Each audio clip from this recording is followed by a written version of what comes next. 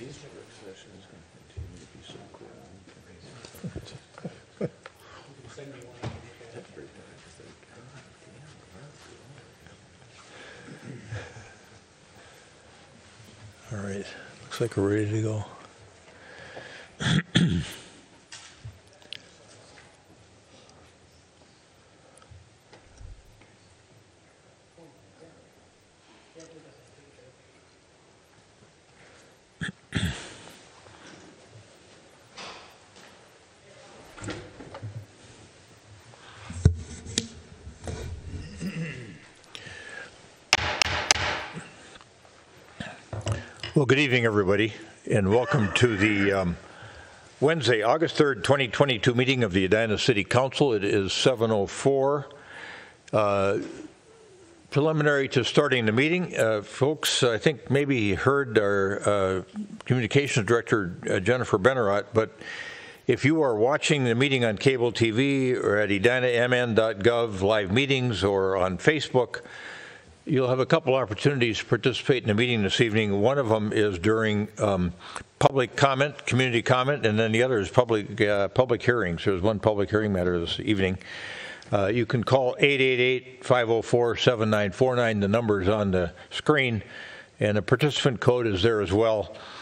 Press 416-427. Press star one on your telephone keypad to speak to the operator and then the operator will introduce you, and uh, Director Bennerotte will bring you in to speak to the council when we get to those appropriate portions of the agenda. Remember, with respect to uh, community comment, you cannot speak to the council this evening on something that's on the agenda already or scheduled for a future public hearing. So having provided that information, I'm going to call the meeting to order and ask our clerk, Sharon Allison, to call the roll. Councilmember Anderson. Here. Councilmember Jackson. Here. Councilmember Pierce. Here. Councilmember Staunton. Here. Mayor Hovland. Here. Next is the Pledge of Allegiance. I pledge allegiance to the flag of the United States of America and to the republic for which it stands, one nation, under God, indivisible, with liberty and justice for all. Thanks, everyone. Um, We've got a, a form of meeting agenda in front of us this evening. Is there anyone on the council or uh, from the staff standpoint that wishes to modify the agenda in any form or fashion? Hearing nothing, is there a motion to approve the meeting agenda as shown? So moved. Second. Motion by uh, Member Staunton, second by Member Pierce to approve the meeting agenda as shown. Any further discussion? All those in favor of approval of the meeting agenda as shown, say aye. Aye. Aye. Opposed? Carried. And now we are back to uh, community comment.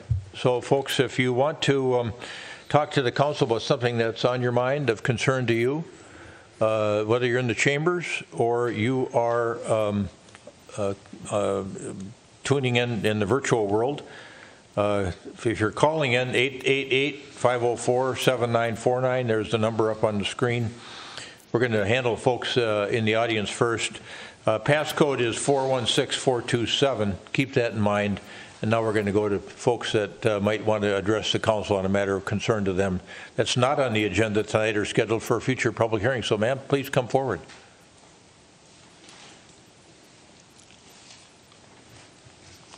My name's Ruth Ann Metzger. I live at 5600 Dale Avenue in the Melody Lake A area. And as you know from last council meeting, we don't have grass yet from our project from last year. We also have additional concerns. We have had to water our own yards since July 18th. We have not seen a water truck since then. And after July 18th, within that week, I was reseeded twice by the contractor. So I have spent 22 hours watering my yard, and we are wondering if the city is going to cut us a break in our watering bills. And what happens if this now we're into the herbicide phase of Plan B, I call it. And if that doesn't work, what's the plan after that? Uh, and will we have grass by the end of the season? Our 2021 project is not complete. The railroad tracks on Hansen Road through that intersection, the road has not been reconstructed. The sidewalk to Hansen Road is not complete.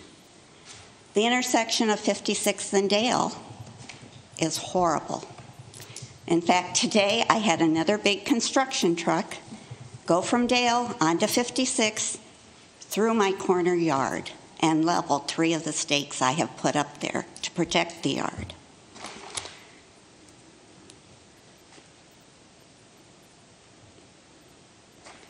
So we are wondering in my neighborhood if we are going to be assessed before our project is complete.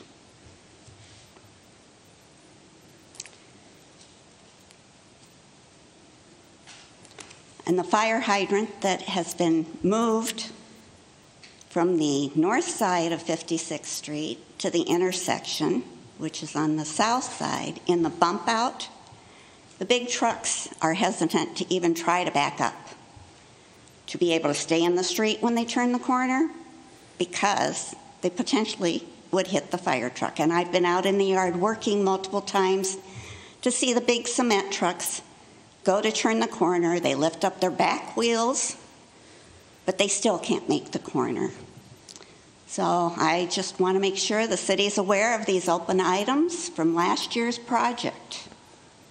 And my neighborhood is not pleased with the outcome to date. Ms. Metzger, hold on just a moment. I want to make sure I understand that turning problem. Is that, I- and I've been to your house, I spent time walking both sides of your house because of the email that you sent a while back uh, articulating all of these things, I thought in great detail. So I wanted to see where the, the um, problems were uh, on the towards Hansen Road, uh, you know, where you said, I think the um, fire hydrants have been uh, stacked and other material have been stacked in your yard. In the backyard along Uh, 56th Street where the sidewalk is. But when you talk about that turning problem, uh, are you talking about when they come up from Hansen Road and then they want to turn on Dale?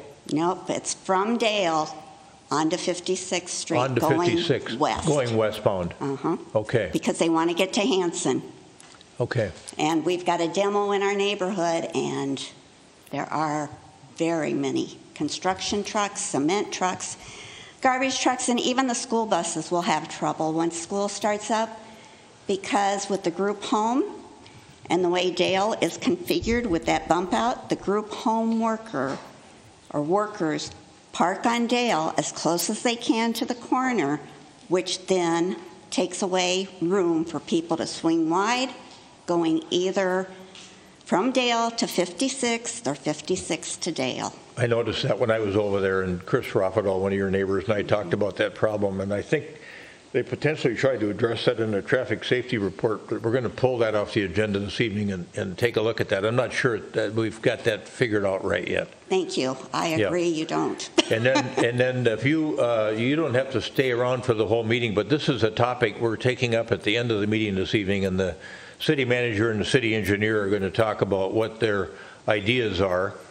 Uh, In fact, I suppose we could talk about it now. while Ms. We can do it now. Is still here, so you don't have to tune in That and, would be and nice. and uh, wait until 9:30 or 10 o'clock at night to hear. So if you want to just uh, sit down and, and uh, we'll, we'll talk about this issue Okay. right now because we've Well, got. thank you for coming to our neighborhood Yeah. and seeing firsthand, Yeah, and and thank you for listening to me. They've got some ideas, and I don't know if we're all on the same page yet, but I understand your issue, and we're thinking about the, the watering that you've all done too, and it's going to be pretty easy, I think, to at least have a conversation with the council about how, if we wanted to do something to help you on the water bill, determining what your historic use was compared to what it's been during this period is pretty simple. Yep. So we'll talk about that too. Okay, thank Okay, you. Okay, so stand by and we'll get through this. Let's see if anybody else wants to address the council. It's in chambers. All right, and then let's go online to see if anybody's waiting to speak to the council on um, community comment. I do not have anyone on the line, sir. Okay, let's, let's talk about this issue. I don't know if Director Millner wants to take this? or He does, yeah. Manager Neal wants to go first? I mean, uh, you know, our, our normal practice when we, uh, when we take community comment is we don't generally respond because we want to have time to prepare and give an accurate, fully accurate uh, response. In this case, I think we were safe to anticipate that this question would be raised tonight, so we did. And I talked to, to uh, Director Millner earlier today, and he's going to give some background and also uh, talk to you a little bit about uh, the plan and, and the communication steps that have taken place already.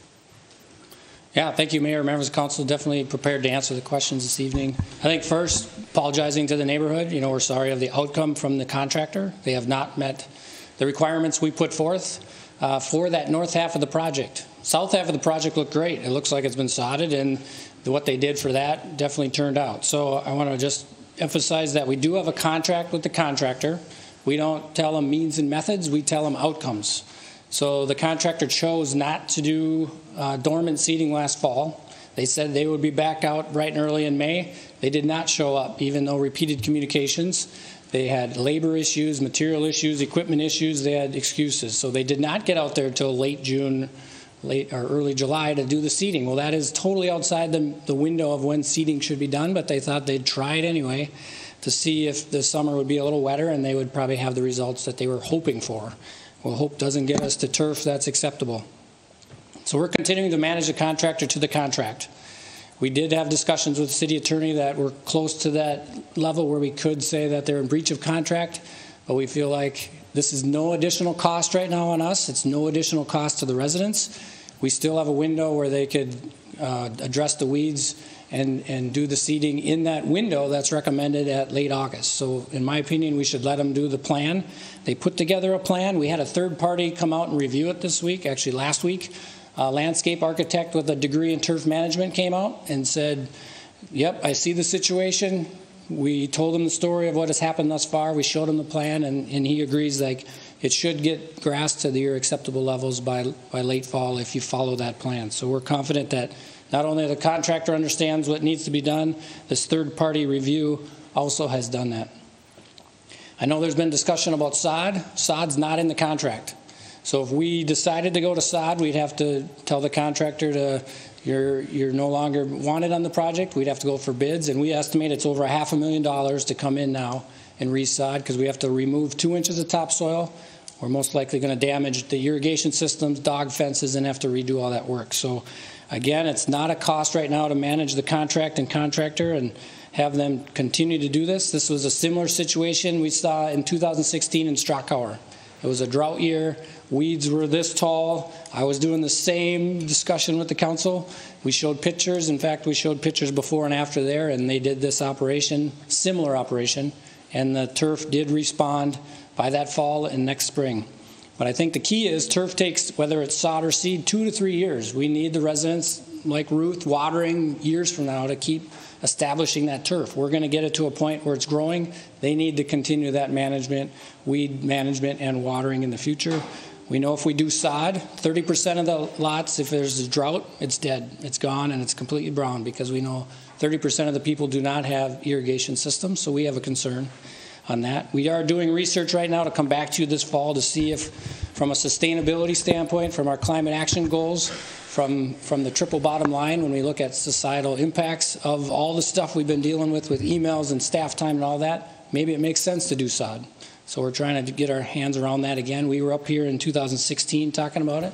So we're six years from there, and let's see what new research is out there and come forward. To answer some of the questions uh, that Ruth had, the reason Hansen isn't done in 56, CP Rail. We have been trying to get a permit from CP Rail for 18 months, and we finally got it two weeks ago. So that issue, we wanted to do it, we couldn't do it. They wouldn't give us a permit, and they had just been a black hole trying to communicate with. But we finally have it. Contractors coming in in September is going to finish the road. We still don't know when they're going to do the crossing because they do that work themselves. Um, so the project will be complete this fall, um, but it was CP Rail delaying that one portion of, of the project there. So I think I answered most of it, but I'd be happy to stand for any questions. Yeah. Go ahead, Manager Just one, one additional point that she made that we have had some discussion on, and that is how we handle excessive watering. Uh, Because we are, and we do need to engage homeowners to help us with this, with kind of the finishing um, product here. We have been talking to our utility staff about how do we accomplish this, and we can accomplish it, but it's probably setting up, we need to set up some parameters about uh, what time period we're talking about and, and what percentage of water use we want to discount, and, and so we do want to put some thought into that so that we're not um, a moving target on that. We want to be able to produce um, a message that we can explain to different residents uh, throughout the project areas. Correct. We've we done are some- working on that. Yep, and we've done some calculations, if they water every day for this size, how much water, looking at the thing and just coming up with some, some draft numbers at this point, but we'll come back later in the fall when we understand the full extent of, of the watering need here for the rest of the year. Okay. Um, Ms. Metzger, can you move over a little bit so I can see you from the dais? Is I, yeah, there, move up in that front row, or, there you go, thanks. Um, So here's, from having been out there uh, and walking the neighborhood, um, here, here are my additional concerns. So, and let's get this uh, straight in my mind and everybody else's mind.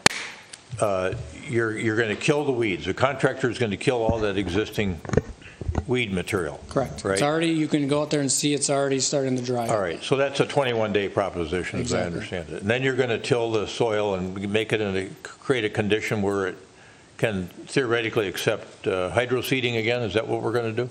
There's various states. Some properties have better seed growth already, so we don't want to destroy the existing grass. So it might be a raking operation versus a tilling operation. So we're going to look at the property and decide what's the best avenue. But yes, Sure. we're going to get Yeah. it ready for seed, and then it's going to be a hydro seed Thanks. with a with a uh, uh, fertilizer, liquid fertilizer in there, and organics, and the seed mix, and blowing that out into the thing. Similar to what they did last year, and the results were great. So that's what we want to do again on the north half. The results we got on the south half. All right, I like that customization idea, to- because when I was out there, a lot of people have been, had taken it on themselves and Yeah. spent countless hours working in their yard to try to, uh, you know, reseeding, Yeah. watering on their own. Some people have put in sod. I think we need to be mindful of that and think about that uh, as a potential reimbursable cost. Um, It, uh, it's, for me, it, from being out there an hour and a half or so and talking to folks, it, it's on us now, and we got, we got a contract, right? Yeah. But uh, for me, the buck stops here, and we got to do it right. And so, uh, when you go to reseed, that's another 21 days. So we're going to be at the end of September Correct. before we know whether we got any grass. Yep. And so what happens then if we don't get the kind of catch on the grass that we want? We don't get the kind of germination we want? Yeah, I mean, at this point, it's no additional cost to the contract, so let's, and I don't think we can get anybody to sod this year anymore anyway, labor and materials and everything, so let's try it at no cost.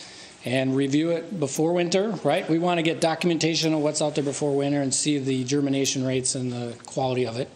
We'll broadcast that to the neighborhood and say, we think these are adequate starting points, and then we look again in the, in the spring and see where it's at at that point All and determine if it's, if it's good, or if it, if it look, I don't see how it can look like it does now. But maybe there's a few spots that need another additional blast of hydroseed or something like that. so I don't have a lot of confidence that the contractor is going to keep that new material moist to allow it to, its best chance of germinating. So are you suggesting that residents water their own? Yes, we are. We're putting that in our flyers. We really need their help here, and Okay. that's why we'll consider the we'll water bill. at- We'll look Yep. at water Yep. bill Yep. issues. And I think we should think about the same thing for people that bought multiple bags of seed, and if they can produce receipts, we ought to be thinking about things that allow us to reimburse them for some of the, labor would be a tough thing, I think, you know, but We're some of those hard costs could be, could be reimbursable. we're even thinking of buying hoses, sprinklers and this, because for the amount of time and effort we've spent just managing this thing, we could have bought enough for everybody, put them on timers, and been done with it, got them a reduction on their water bill, taking the equipment back for the next year's project. So we're looking at some potential mechanism like that, where, where we give them the tools to do it, and if they don't use it then, that's a different Okay. story, because we know. Ms. Metzger, come on back up, because I want to make sure we got every issue covered here. Mayor, you saw my yard. You saw what I need to water. I would like to be the pilot for that temporary above-ground irrigation system with timers. Okay. I also want to be able to take a vacation, which I haven't done at all this year. So, yes, I would definitely like to be the pilot, and I think my yard would be a good case Okay. because it's a mixture of shade, sun, corner, high traffic. Yeah, okay. And then we'll talk about this uh, parking issue and the inability to make the turn, too. Pardon? We'll talk about the parking issues uh, later in the meeting. Okay, thank you. Yeah. Thank you very much. Thanks for coming in tonight. All right. Um, We don't have anything else from community comment standpoint. So uh, the usual practice, as, as Manager Neal said, is to respond to community comments from the prior meeting. Manager Neal, anything that you need to respond to? Um, Yes, sir. Uh, We had a resident last, at uh, our July 19th meeting, who talked about this topic and, and encouraged us to uh, take it on. So that was uh, something we have done since then. Uh, Arnie Bigby was here and, and thanked the council for uh, so the support of the Juneteenth holiday and talked about that a bit.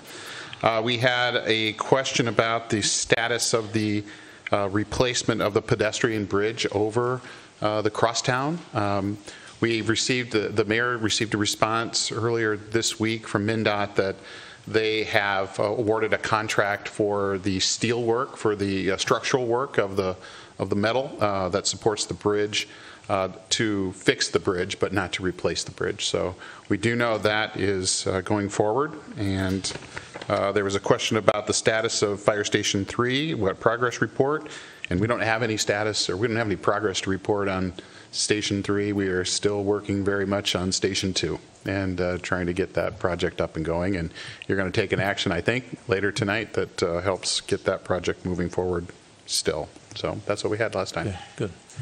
Any questions from council members as a result of that report?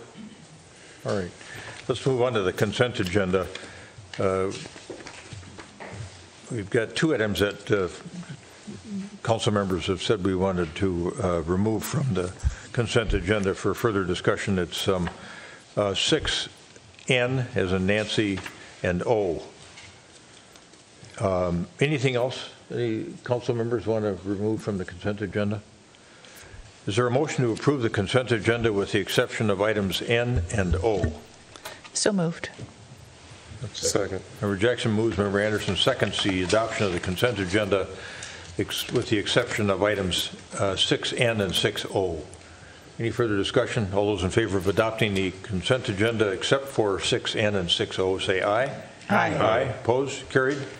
Uh, And the reason I pulled the traffic safety report, that little sidebar with uh, Member Staunton, uh, and this relates to um, what Ms. Metzger was talking about.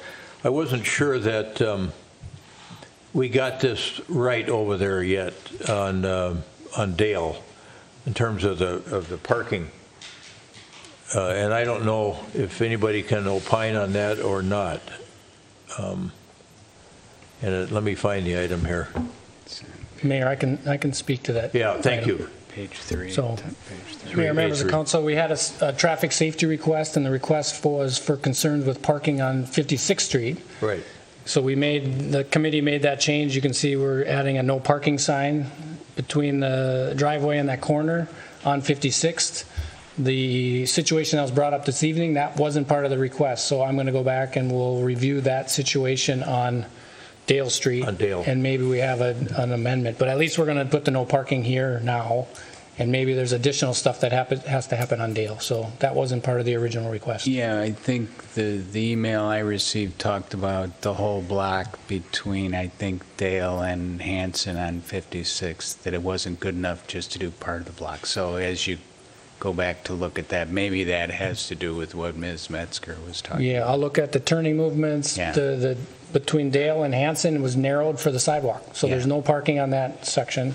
But then there's this parking issue right at Dale. So we'll look at that. Right. Okay, So we know we have addressed at least that one car that's parking on 56. Okay. When we put the sign up. great. Right. I don't know why they don't park in the driveway at the group home, but they park on Dale and they park in a way where it, it really creates difficulty with the narrowness of the Yep. street and the curve. So I think on either side of Dale, you got to look at it. Okay, we'll do. Okay. All right. Uh, Having provided that uh, information, thank you, Director Millner. Uh, Anybody care to move the adoption of the traffic safety report of June 28, 2022, which is item 6N? So moved. Second. Got a motion by Member Staunton, uh, second by Member Jackson to adopt item 6N, which is the approval of the traffic safety report of June 28, 2022. Any further discussion? All those in favor of adoption of the motion as stated, say aye. Aye. Aye. Opposed? Carried. And then O uh, deals with um, a request that we've had uh, regarding uh, joining a fencing consortium, a joint powers agreement, potential joint powers agreement. I'll turn to Member Staunton. Uh, Mr. Mayor, members of the council, chief, welcome. Um, I, I just wanted to pull this off. We had a very good discussion at our meeting, at our work session on the 19th of July about this, and, and um, I understand that this is an insurance policy of sorts, and the place that I got, I was somewhat uncomfortable. I'm not a big fan of fences, but um, but I'm I'm persuaded that I'm okay with this, provided that that we add a policy that says that um, the council is going to make the decision about deploying this um, whenever that comes up, because I think it's up to our staff to do to make the suggestions about the options for us, but it's up to us to make the decision about how much protection we need and when we need it. And so, so that's, that's the one reason I wanted to raise it. I don't know if, if Chief, if you want to add anything, but um, it's, that's, that's all. I just wanted to raise it to make sure, and we don't have to do that now. We can do a policy as we agree to move on with the joint powers agreement, so. Member Jackson. So just so I'm clear, we would have a policy as to when it would be t- put up and taken down as opposed to having to call us all and say, is it okay if we put it up? No, I Yeah. don't think so. No, the policy would be to Policy. call us all and say, is it get- okay to put it Okay, up? well, that's why I asked, Yeah, okay, right, right. okay, I'm great. sorry, I wasn't very clear Yeah. about that, but. All right, thank That you. was, I mean, the discussion we had at the work session was, um, was just over, you know, who makes the call about these important kind of decisions. And, you know, as I sit here, I can't imagine a situation where we need to use it, but that's also why we need to have it, is because maybe there'll be things we can't imagine. And eight years ago, there were a lot of things that I couldn't imagine would happen in the next eight years that have already happened. So, so I'm, I'm, I understand the need to prepare and to be ready, but I also want to make sure that this council or future councils makes the call about whether to deploy that kind of measure. Manager Neal. Oh, Thank you, Your Honor.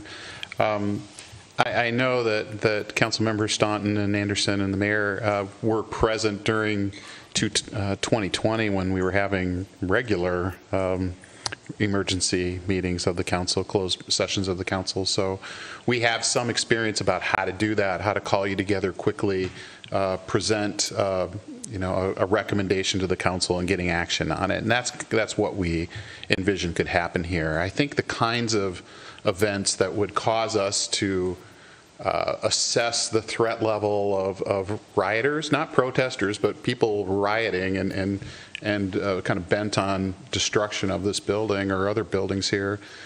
We, we have some pre, you know, pre-advanced notice that that might, might happen, right? We, we know an event happened and we can draw a logical conclusion that that's a risk and, and maybe we even have intelligence that that's a risk and we would present that to you. We'd hope that you would uh, acknowledge and endorse it and we'd be off to the, you know, off to the JP, off to the JPA to, with the fence request, but. Member Pierce. Uh, Thank you, Mr. Mayor. I, I, um, I assume that that is just an operating principles that we would outline, um, is maybe how I would say it. But um, I think we should, because of the conversation that we had, and I felt like we ended in a, a great spot, um, I- I think we should discuss that and just outline, here is the process that we will use. Um, Because the other question I asked, and I don't think I saw that in the documentation, is that it, it's a consortium. And so the way we talked about it, it felt like we were still petitioning to the consortium that we need fencing. And there was still some uh, play in terms of how that decision gets made if other communities needed fencing as well, because we're not buying, we're not there's not going to be enough fencing for all the communities. And so just some of those uh, nuances, um, I think it, I would feel more comfortable if you know, we had that outline. This is how we would, uh, this is the agreement and how it gets, um, and how it gets executed. Um, and then add to that, these are the principles around how we as an Edina would decide when to deploy. Chief, comment on that? Uh, Sure, Mr. Mayor and uh, council members. Uh, First and foremost, I I agree with the comments made here before us. I think it is good practice from a policy decision-making process and to get in front of our elected officials to have those very specific conversations if we should ever have an event like that. So I'm in agreement with that. And then I- I think I would offer that I would look at this as phase one as part of the planning. And so we're we're simply saying that we're going to commit to this and get involved with the JPA. But there's a phase two to come after this, and when this uh, board has developed out, those are the exact issues that they're going to work through over the next several months, which is the definition of what an event would look like. Uh, Hopefully, and we, we think this will happen, uh, to extend the length of the fencing and potentially get into a situation where they might buy the fencing, so that'll take care of those kinds of issues that could come forward down the road for us. So I I believe that everything will get established over time, and I do believe it would be fairly easy for us to put some parameters around uh, some kind of a policy decision-making process or put that forward before this council. Your Honor. Manager Neal and then Member Anderson. I, I think in response to, to Councilmember Pierce's um, questions and concerns, the, this, what we're asking for is to be, uh, is for your authorization to be at the table so that we can help form and answer some of those questions, because some of those questions uh, are answered only by the JPA itself. Uh, And those are the logistical, tactical questions about how much fence do we buy and who gets it if it's, if there's more than two cities that need it and those sorts of questions. If, if we're at the table, we can help shape that policy. If we're not at the table, if we can't commit to join the JPA, they don't want us at the table. That's what I would say. Um, The rest of it, though, about what triggers Edina to ask for it, that question is clearly decided at this, in this room, right? Um, And that's part of what, uh, that's part of what I think uh, you're asking for tonight, is for us to prepare some policy language that you would, you would approve, and that would, that would uh, control how we, how we submit a request to get this fence in the first place. And, and Chief, you'd like to see us approve that resolution 2022-66 tonight so that we could get, to- you know, we could become part of the JPA and then we can have this subsequent discussion internally about how we're going to handle it on the Edina end. Mr. Mayor, I would. We are under a deadline, and we have to get this completed by September 1st. Okay. All right. Member Anderson? Uh, Thank you, Mr. Mayor. Just a a couple questions, Chief. Um, uh, In your, uh, we don't have access to this fencing, and I don't know where it's been used elsewhere. Um, Do you have any idea of uh, if, if, as we develop a policy, what's the timeline, do you think, in terms of requesting fencing, having it in place and on site? Sure. So currently, the situation that we're dealt with uh, is that there is not a vendor locally for us to call into uh, play. And so that uh, would take probably at least a day or two to get a fence solution in place if we should need it. What this JPA and this consortium would do for us is allow for a fencing solution to be uh, stored locally here in the metro area and provide that within hours, should the call go in. I'm sorry, how many hours did you say? Two to three hours. Two to three? Yep. Okay. And so what you, I think in our last meeting, the work session, I think you stated, basically, the, the human line, the blue line, is good for about two hours in the face of that type of event. That's correct. Um, Officers that are holding a line in a situation like that, there are, there's limited capacity and time to establish that and to do that uh, for sustained periods of time. And so a fence solution is the optimal way to um, set up a safety uh, perimeter around any kind of uh, building or established or government entity such as this. And uh, that is highly recommended based on experience that we've seen here locally. Thank you, that's very helpful. And so just in going forward, as we discuss policy on that, then I, I think what we're going to have to determine is what our timeline would be in terms of gathering and how we gauge that event. And I, and that becomes important in the unlikely and hopefully never experienced situation where we might consider erecting that fencing. I- i- It's a calamitous type of event. We don't really like to consider it. It's uh, a, we don't, we don't, we don't like to think that's going to happen here.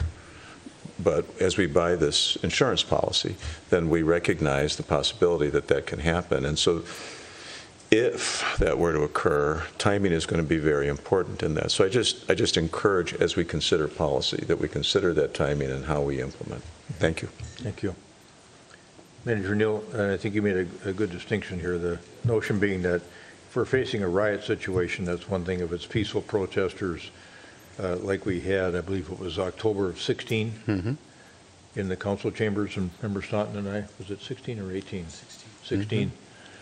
That, uh, that's a totally different situation and uh, appropriate for them to have their voice heard, so. uh, All right, Any- anything else that you wanted, you?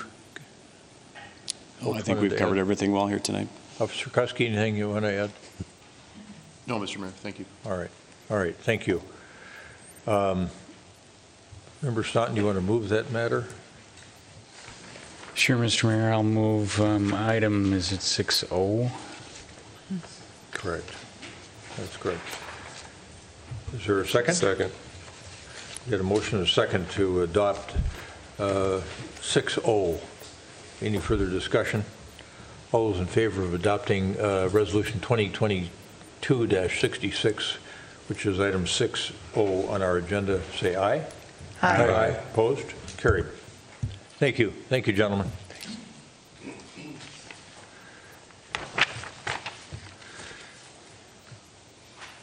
All right, that completes uh, matters on the consent agenda and the items removed therefrom. Uh, We've got one public hearing matter this evening, and that is the potential uh, suspension of a liquor license uh, involving a a restaurant operation in our town called People's Organic, and I'm going to turn now to Sharon Allison, our city clerk, and we've got Lieutenant Dan Conboy with us this evening to um, answer any questions. But first, it's uh, it's Clerk Allison's obligation on the way we do business to talk about this potential liquor license violation and potential suspension. Thank you, Mr. Mayor. Uh, Mr. Mayor, council members, uh, compliance checks are done twice annually by our police department uh, to make sure that establishments are not selling uh, tobacco as well as alcohol to underage individuals. Most recently, um, in June, uh, the compliance check was done, and there were five violations.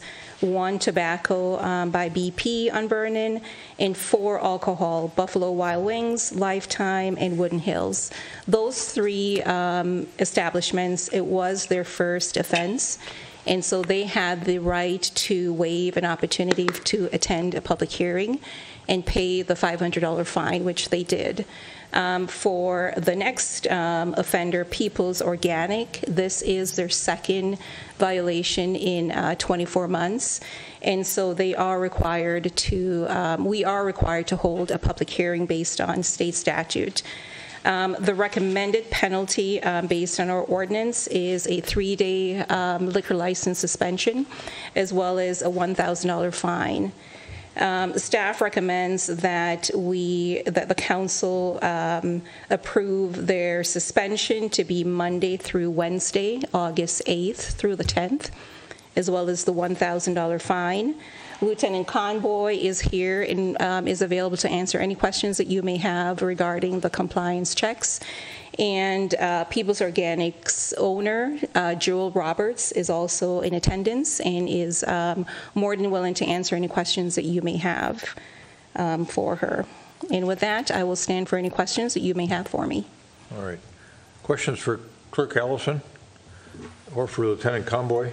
Lieutenant Conboy, did you have anything you wanted to add before we No, Mayor, What are the questions? Okay. Questions? I just, Member Staunton? I just noticed that we did get an email from the server. Is that part of the record this evening? I'm not sure I understand you when you said the server.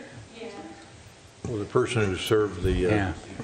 Oh, I'm Underage sorry, I wasn't person? aware of that. I can't Oh, respond to that because I'm Okay, not aware of so- that email. So maybe we should make it part of the record tonight, but I don't have a copy with me. but it I was- don't either. It was an email from the individual who did the serving, who was explaining her mistake and that she, she was taking responsibility for having kind of messed up and just wanted us to know that it, she didn't think it was a lack of training. She thought it was a lack of her attention to detail at that time, so. I believe Ms. Roberts is going to talk with you about the training too that Okay. is um, given to the staff at People's Organics. Great, thanks. All right, but for the server, I mean, they get charged as well, as I recall, with a, is it a gross misdemeanor? Yes, the uh, server was issued a citation that evening for a gross misdemeanor for serving underage. Okay. All right. Um, Any other questions from council members? Uh, My, one of my questions, uh, Mr. Mayor, is, um, have we ever seen anything like this before?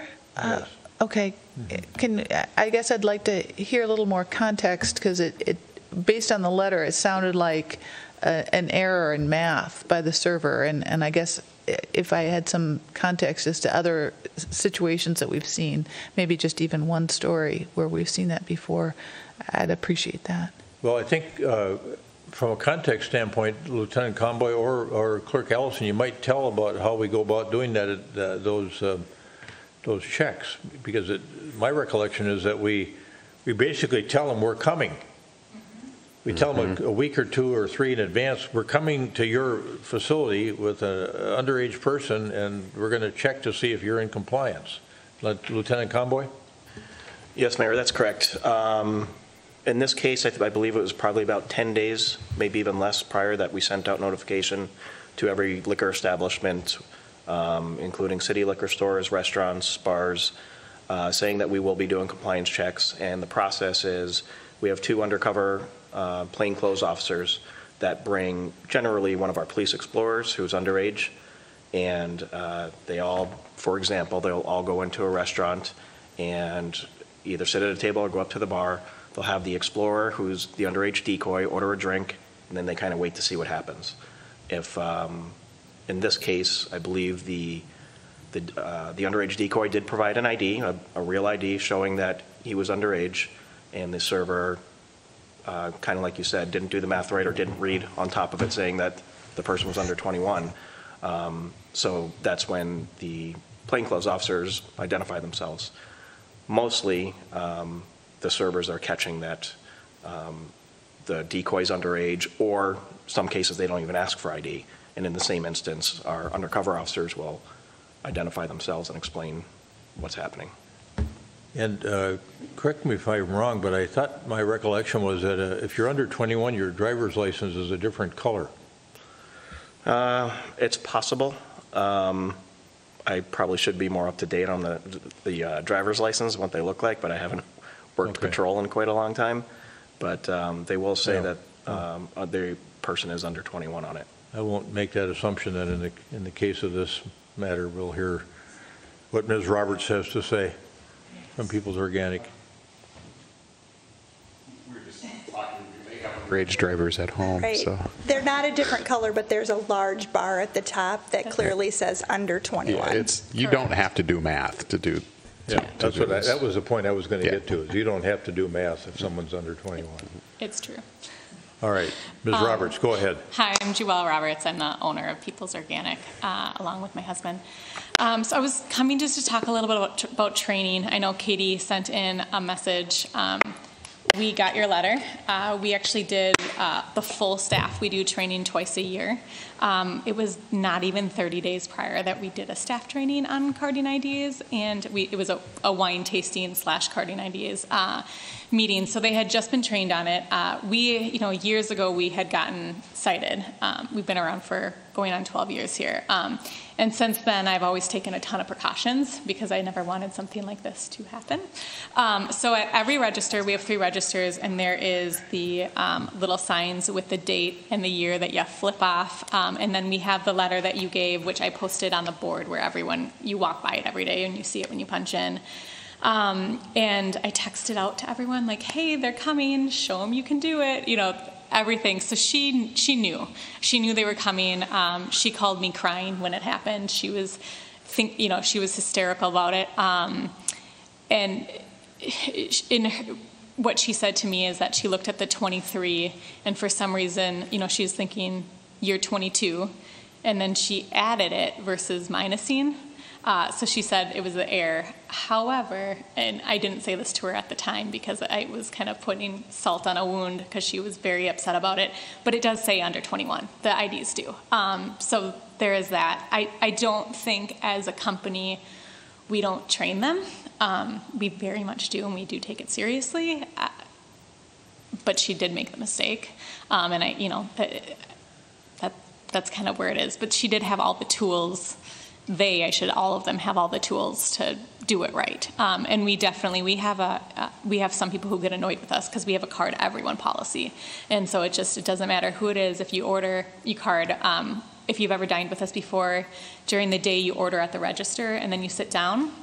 If someone is giving you the, your your wine or beer at the table after you order because we bring everything out we card again because um, we got actually that was the one that we got years ago was that someone brought it out and they stuck it in front of the wrong person you know the person and, and so. But um, anyway so we take it seriously. Uh, katie just made a mistake. She's great otherwise though and it was the end of the night. She had she if you read the letter it's kind of a long ramble but as i am doing right now. Thank you, Ms. Roberts.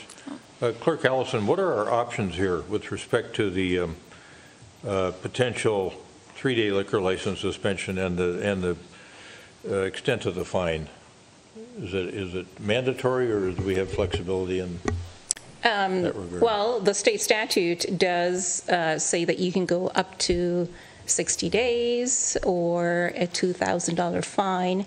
In our ordinance, it is a presumptive penalty, and the next phase is a three-day suspension. Okay, that's right. We've got a, we've got that presumptive penalty chart. We have a matrix. Right, yeah. The matrix exactly. That we follow. Right, that we've had in place for several years. Yep. Right. Member Jackson, did that help at all, or are you still? Well, I- I'm a big believer in human error, that we all make mistakes, and it, it just seems, I, I don't know how to, how to reconcile this. Um, It was a, a stupid mistake, and I've made stupid mistakes, and I don't know.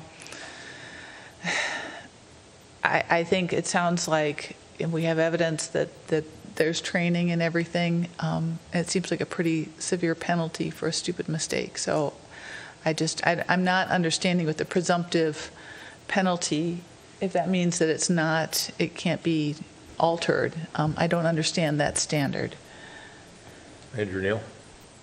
Well, it's a, when we've had these happen before, council asked staff to put together the matrix of how can we apply a more, uh, a more- standard kind of set of penalties given certain circumstances. So that's where it came from. It came from council, and we apply it uh, to, to violations such as this, and, and there's, there's, there's heavier penalties if there's future violations at the same license holder. Just like this one is heavier than the other three that Yep. you identified tonight. That's right. Because this is the second in 24 months.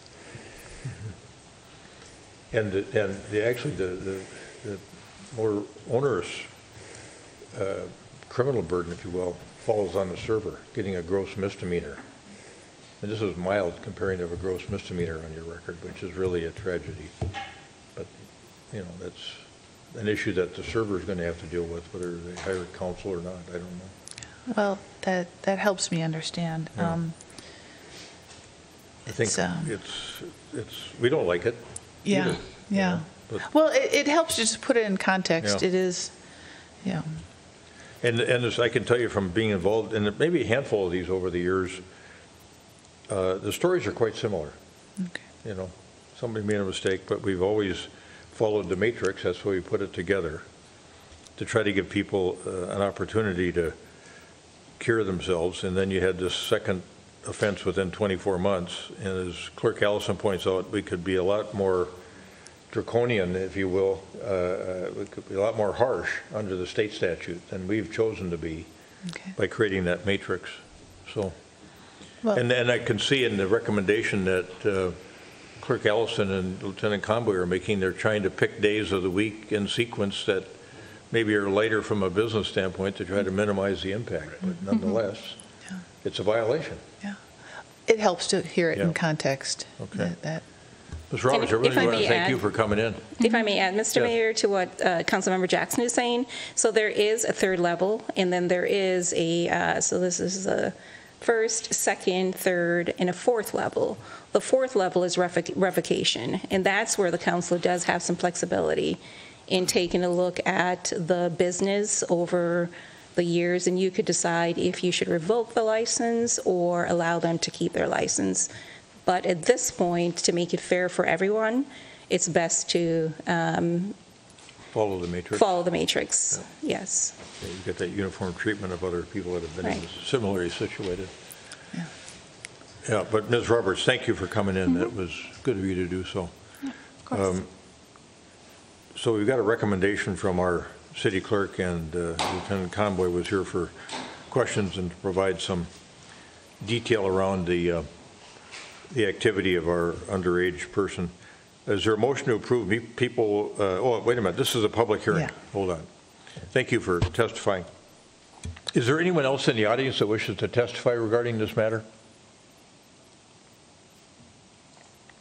Director Bennerotte, do we have anybody online that's waiting to testify? I don't have anyone right now, but because it's, it's been less than a minute since you actually called for testimony, I would wait for a minute before moving on, giving people time to call in, um, because there is a slight delay in the broadcast. My clock shows that it's 7:53, so I'll come back to it 7:54 or when I have a caller, whichever is first. Okay.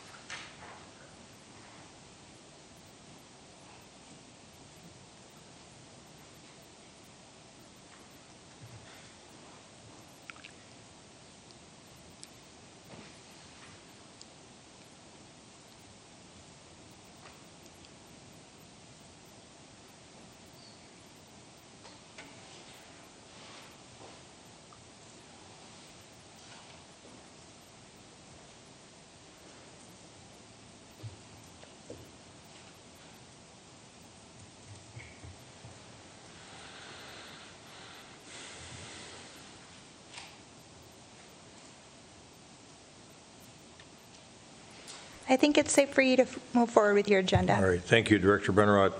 Um, Is there a motion to close the public hearing matter with respect to the potential liquor license suspension, uh, People Organics liquor license? So moved. Second.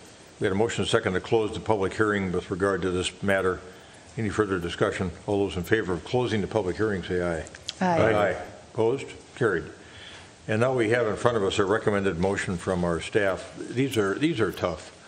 Um, We don't like to see them either. When I see them on the agenda, I think, oh, boy. And then you get a great operator like People's Organic that um, uh, everybody in our community loves so much from a restaurant standpoint and a kind of place to hang out and have a good meal and a cup of coffee, but nonetheless, uh, we face this difficult situation based on the facts involved. Is there a motion to approve People Organics three-day liquor license suspension for the period, um, what was it, August 8 through the 10th. 8th through the 10th, uh, and uh, impose a $1,000 fine for their second liquor license violation within 24 months? So moved. We get a motion by Member Staunton, second by Member Anderson, uh, to um, approve the liquor license suspension for three days for People's Organic. The days would be the 8th through the 10th of August 2022, and impose a $1,000 fine for their second liquor license vi- uh, violation within 24 months. Any further discussion? All those in favor of approval of the motion as stated, say aye. Aye. Opposed? Carried. Sorry. Thanks for your time. That concludes our public hearing portion of the agenda. Um, Next is, uh, under item 8A, resolution accepting donations, and as has been our practice, we've carved out one that's really quite um, distinct from some that we see from time to time, but the first matter is Resolution 2022-71, which is a, I believe, a bench donation. Uh, Is there a motion to adopt Resolution 2022-71? So moved. Second. Got a motion by Member Jackson, second by Member Pierce to adopt uh, Resolution 2022-71, which would accept donations on behalf of the city of Edina. Any further discussion? All those in favor of adoption of that resolution 2022-71, say aye. Aye. Aye, opposed, carried. And, and this is to the Park and Rec Department, Jerry Albrecht from our community, $3,200 for a bench at Centennial Lakes, I'm sure a memorial bench. So Jerry Albrecht, thank you very much. Uh, And then we're going to go back to the next resolution, uh, which involves a potential donation uh, or accepting a donation. Uh, 2022-67 would involve accepting a donation from one of our residents, uh, uh, Brigadier General retired De- Dennis W. Schulstad, and I'm going to have, uh, you, you- do you want staff to come forward with, want everybody to come up? Uh, Mr. General Schulstad, Tiffany, want to come up to the, do you have a presentation? Do you have anything that we can Well, we can, we can see? it? tell you. it premature? Do you have? Yeah, we can certainly tell you about it. Uh, Tiffany Bushland, uh, uh, General Manager at Centennial Lakes Park, honored to be here tonight with uh, Dennis Schulstad, who is donating $25,000 for a bronze statue in honor of his late wife. Um, it'll be a beautiful statue and enhanced landscaping at Centennial Lakes Park that we're um, proud to accept and honored to accept. Um, anything that you'd like to say? Oh, I would just, Pam and our golden retriever walked around that lake on hundreds of occasions. It's, it's really a jewel for the city of Edina. And so I want to publicly thank uh, the mayor, Scott. We had a meeting to talk about how, what we can do to uh, remember Pam and to make Centennial Lakes even better. And then Tiffany came along with some terrific ideas. And so, uh, so it'll be a life-size bronze statue of a golden retriever with his hand up, uh, so kids can shake his hand and enjoy that marvelous facility at Centennial Lake. So thank you very much for your Well, support. thank you. Are you still thinking about that same location, Tiffany? Over uh, near the office park on that little outcropping? Yes, that's correct. So the, the statue will go um, in the south side of the park, near the office park. It'll be um, kitty corner of the Circle of Fish artwork. So it'll be a great visual Very good. location for it.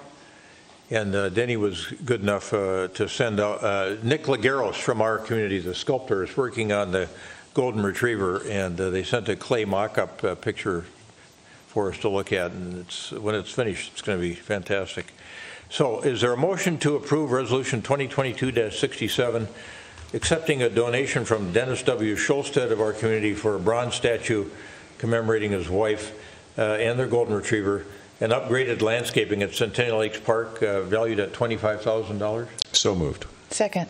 Got a motion by Member Anderson, second by Member Jackson uh, to approve that resolution as stated. Any further discussion? All those in favor of adoption of Resolution 2022-67, say aye.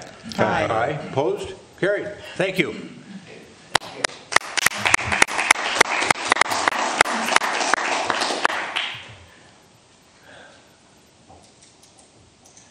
Now we're going to move on to something that we uh, started talking about at our prior meeting, and that is uh, the adoption of a potential interim ordinance uh, prohibiting the sale, testing, and manufacturing and distribution of THC products.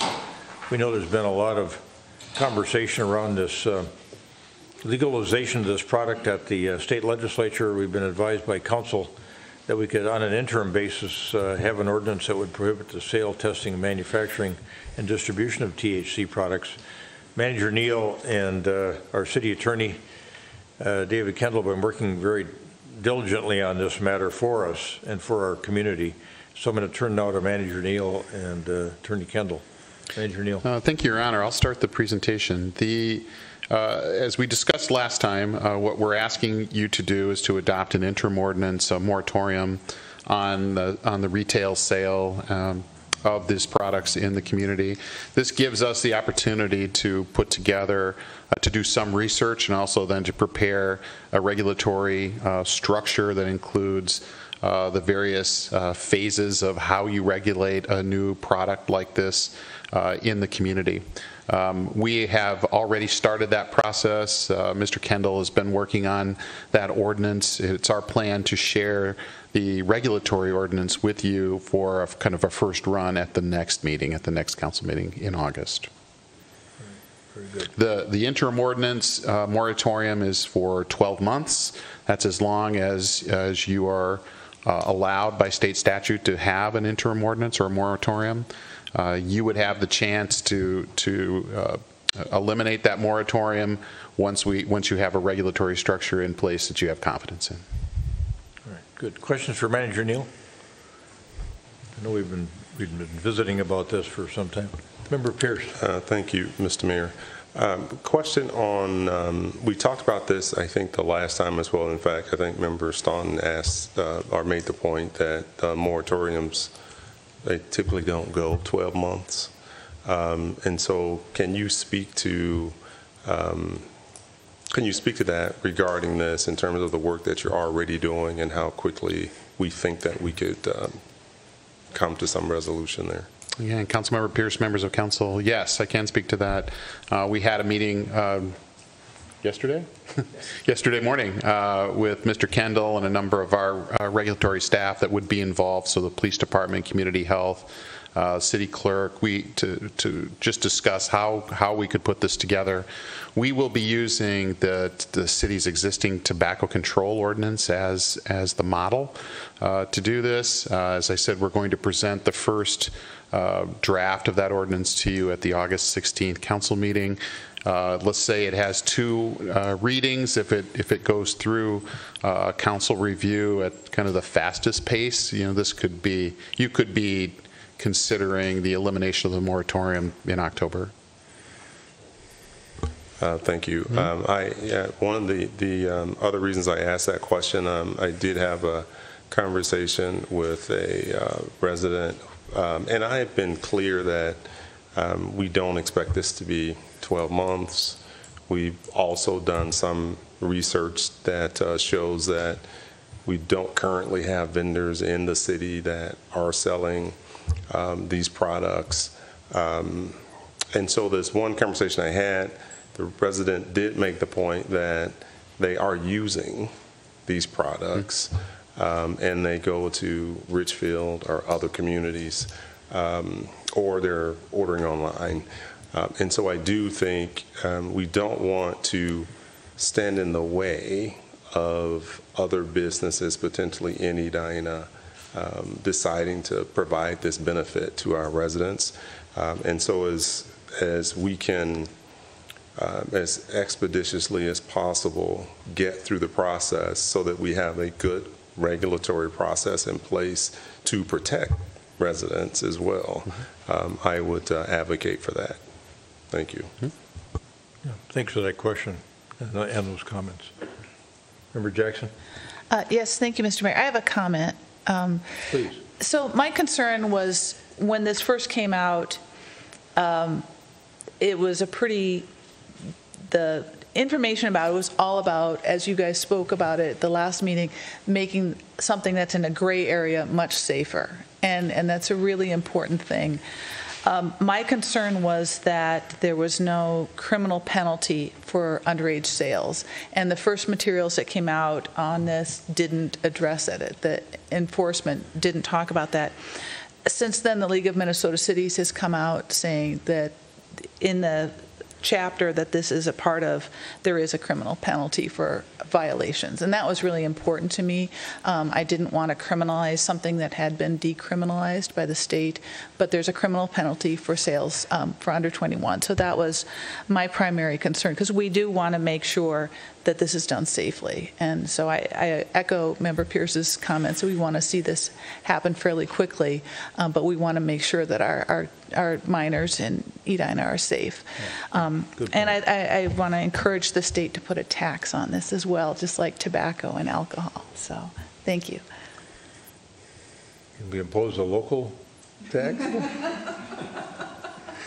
I don't know. We haven't Member talked- we Jackson haven't- might be on the nub We haven't really talked about idea. that. I don't think you can do that, Mayor. I can look into that if you like, but I don't think so. All right. Well, there was a good idea dashed quickly. Sorry, sorry. All right. um, Any other uh, questions from council members? Comment from Manager Neal? No, no, Or nothing more uh, from me. Attorney Kendall? You you feel comfortable that we can do this? and Otherwise, you wouldn't have gone to the work you did, I'm sure. Mr. Mayor, I, I feel comfortable, and also um, we're well underway trying to draft a, a licensing ordinance, and so we'll get that back to you as soon as possible if that's what you're looking for next. All right, thank you. Is there a motion to approve ordinance number 2022-06, which is an interim ordinance prohibiting the sale, testing, manufacturing, and distribution of THC products, and waive second reading? Is that So what you prefer? Oh, This is the second reading. This is second reading. This is the So This second. is second reading? Okay. And grant second reading, I guess that's more appropriate then. All right, very good. Um, We got a motion by Member Staunton, second by Member Second. Pierce. Thank you. And any further discussion? All those in favor of the adoption of the motion 2022-06 as stated, say aye. Aye. Aye. Opposed? Carried. And then, of course, we've got to publish this, and uh, Clerk Allison, do you want to comment about, about the um, summary publication of this matter? Just briefly, Mr. Mayor, um, state statute allows us to publish a summary um, of a lengthy ordinance, and this ordinance would fit into that category, Um, and you are required to approve the summary publication. All right, very good. Any questions for Clerk Allison? Is there a motion to approve the summary publication for ordinance number 2022-06, which was an interim ordinance, of course, that you just approved, prohibiting the sale, testing, manufacturing, and distribution of THC products? So moved. Second. Member Jackson moves, Member Anderson seconds. The motion is stated. Uh, Any further discussion? All those in favor of the adoption of the motion to approve the summary publication for ordinance 2022-06, say aye. Aye. Aye. Opposed? Carried.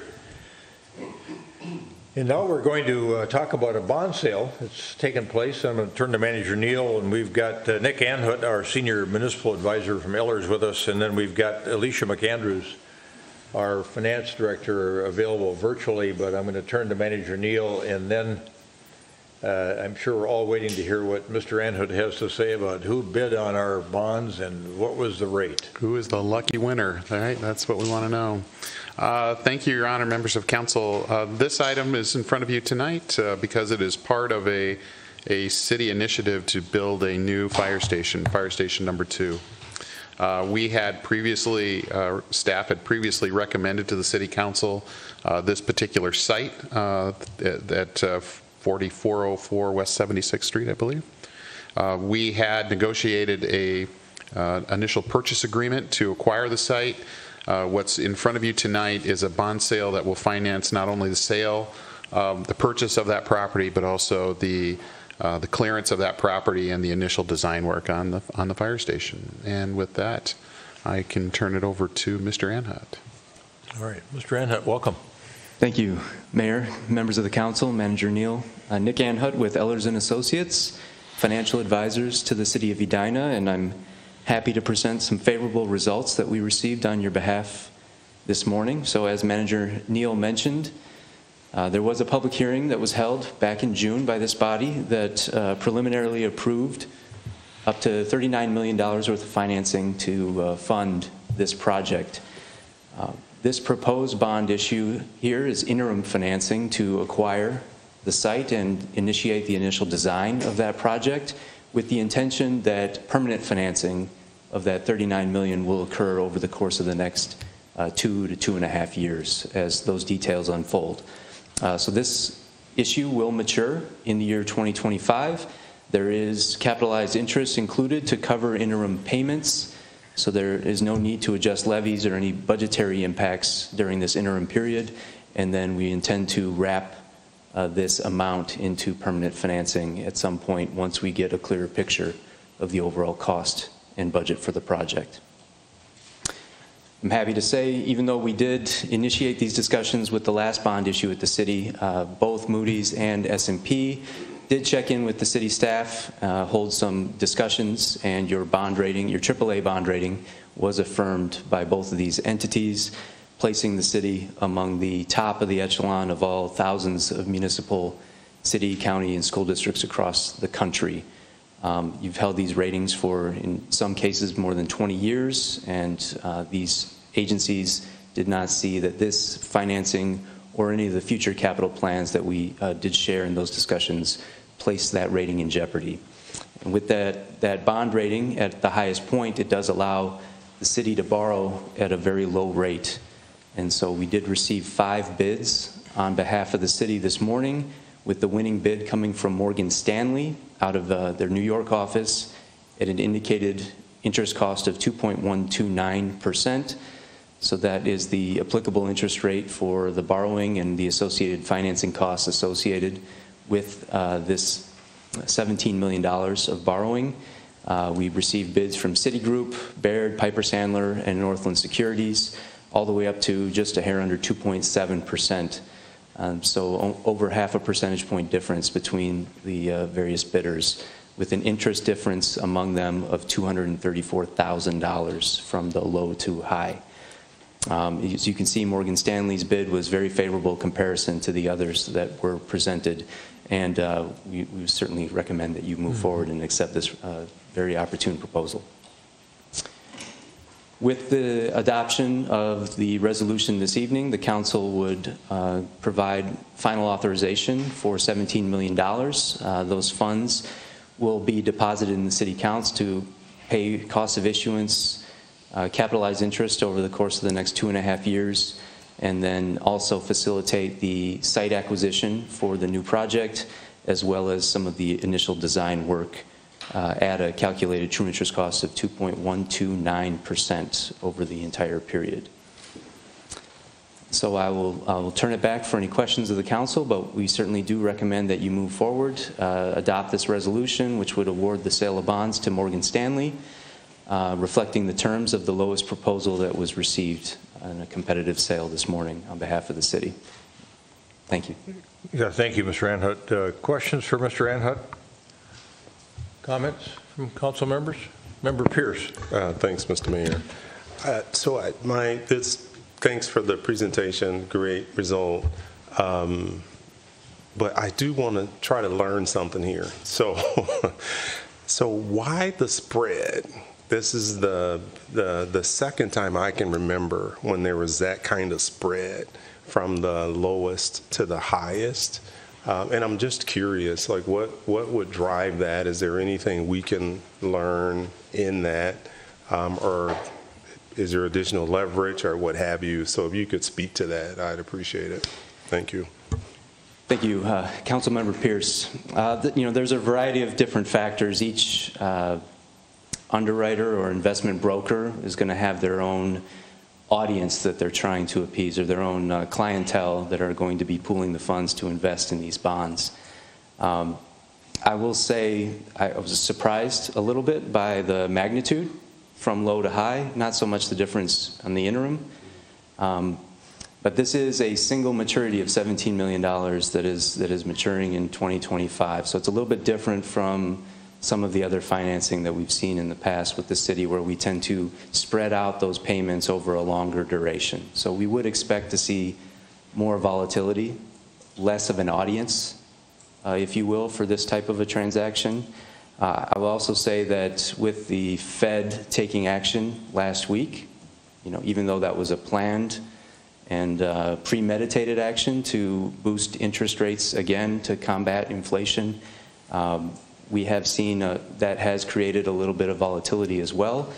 And there are some other uh, larger offerings that are coming into the marketplace over the course of the next month. So there are some other um, bonds that um, uh, brokers will be lining up for as well. So I, I think we still got a very favorable result from the winner um, but maybe not a consensus amongst the, the group that this was where they wanted to put their $17 million right now.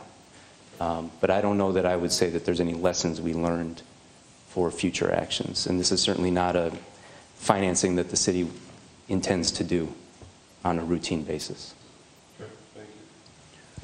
Other questions, comments? All right. Uh, Thank you, Mr. Anhut. Uh, Always, you- you've been generally the bearer of very good news, which is what you want to be with the city council, I think. Thank you. Um, So is there, is there a uh, motion to approve Resolution 2022-70, which would award the sale of a hun- of uh, $17 million worth of general obligation temporary CIP bonds, Series 2022B to Morgan Stanley and Company LLC? So moved. Second.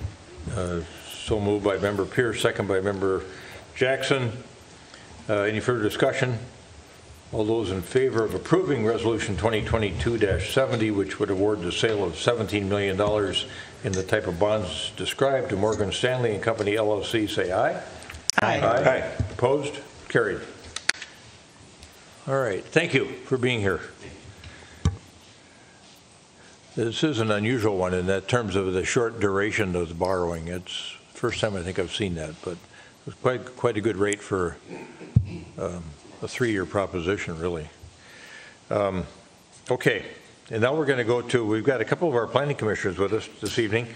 Our chair uh, of the planning commission, Kay Agnew, is here, and uh, uh, one of her colleagues and uh, longtime planning commissioner Lou Miranda are here to tell us about the off-street parking regulation recommendations that are coming from the planning commission. And of course, this is something the council has wrestled with for quite a time, and we keep pushing the responsibility off on the, on the members of the planning commission and say, okay, look at it again and look at it again. And here, here we are finally now live, and we get to have a nice conversation with both of you. And so, first of all, I'll say, say thanks for, uh, to both of you and, and uh, on behalf of all your colleagues uh, too, uh, you know, thanks from the council to all of us, to all of you for this, this good work that you do, not only in this matter, but on, on all of the things land use related for the city of Edina. Thanks. All right, uh, go ahead, uh, Chair, Chair Agnew. Yes, Mayor, members of the council, thank you so much for having us tonight. So this, this conversation has been going on for a while between Planning Commission and the City Council on parking in Edina. And so we first presented, I think it was last July, this ordinance for review, and the discussion that came from that was wanting to really understand how this particular ordinance plays into the bigger picture of how we see parking, parking requirements, and just the evolution of parking in Edina. So what we did is we, we took a couple of steps back and we wanted to frame up what's our goal? Why are we talking about parking? Why does parking continue to come up? And then wrote in our, our strategy and, and kind of our game plan towards that.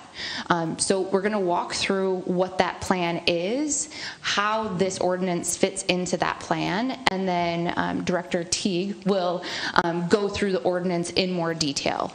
Um, so I definitely want to have a conversation kind of at that high level of, of what we're thinking from the Planning Commission about parking, but then also obviously here to discuss the ordinance in and of itself.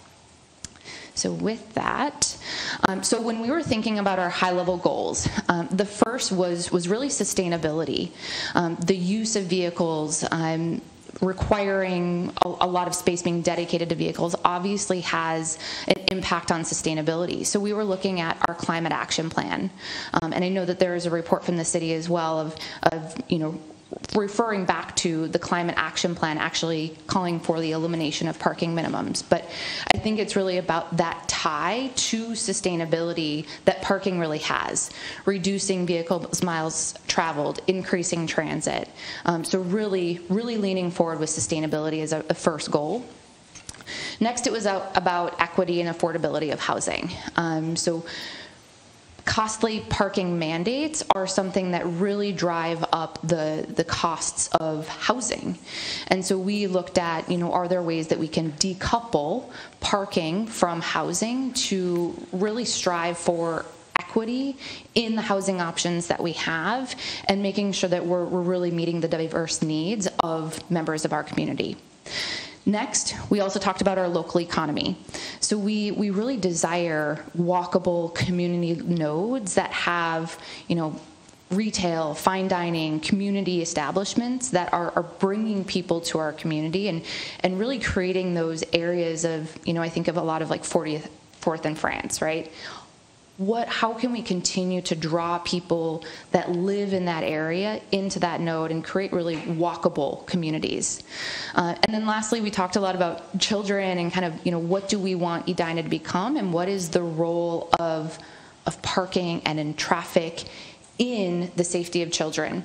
Um, and the one note that I'll, I'll kind of bullet point here is, is reducing congestion. Um, so when you think about areas where where parking is is sometimes even harder to find, right? And so I'm, I'm really thinking here of the phrase right sizing parking.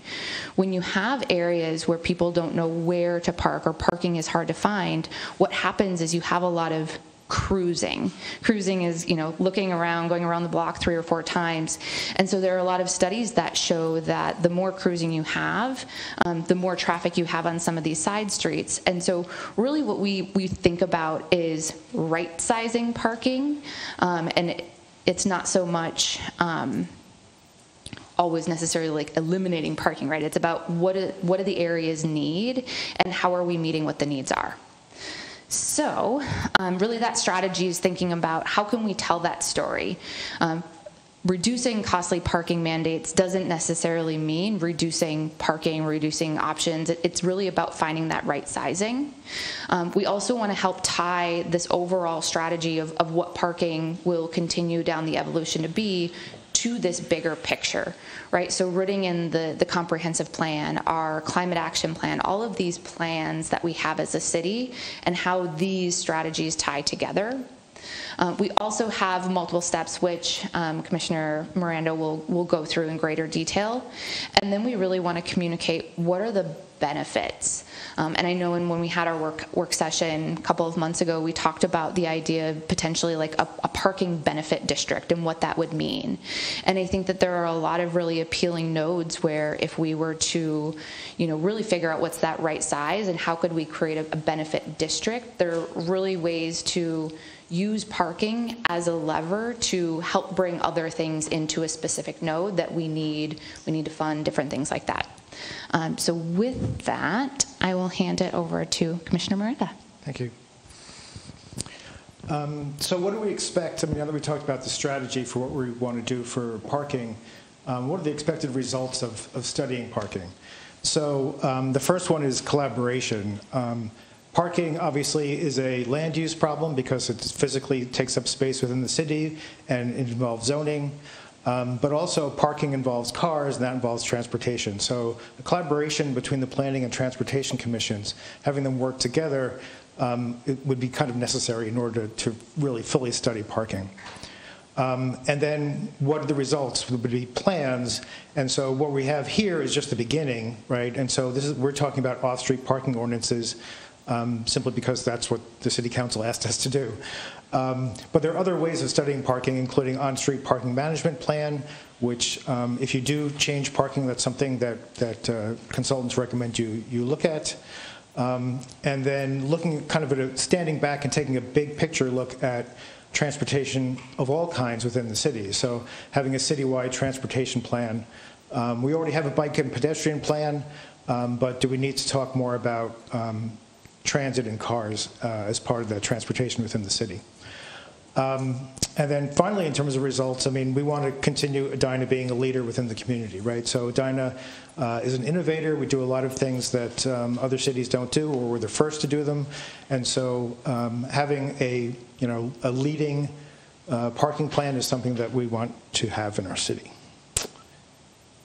All right, so um, here we're talking about uh, the chair talked about uh, having uh, multiple plans, and, and, here what we're talking about, it looks kind of complex, but it's basically a, a, phased rollout of what parking, how parking might change over the years. So we're not going to just have a one-time, you know, change the parking and see how it works.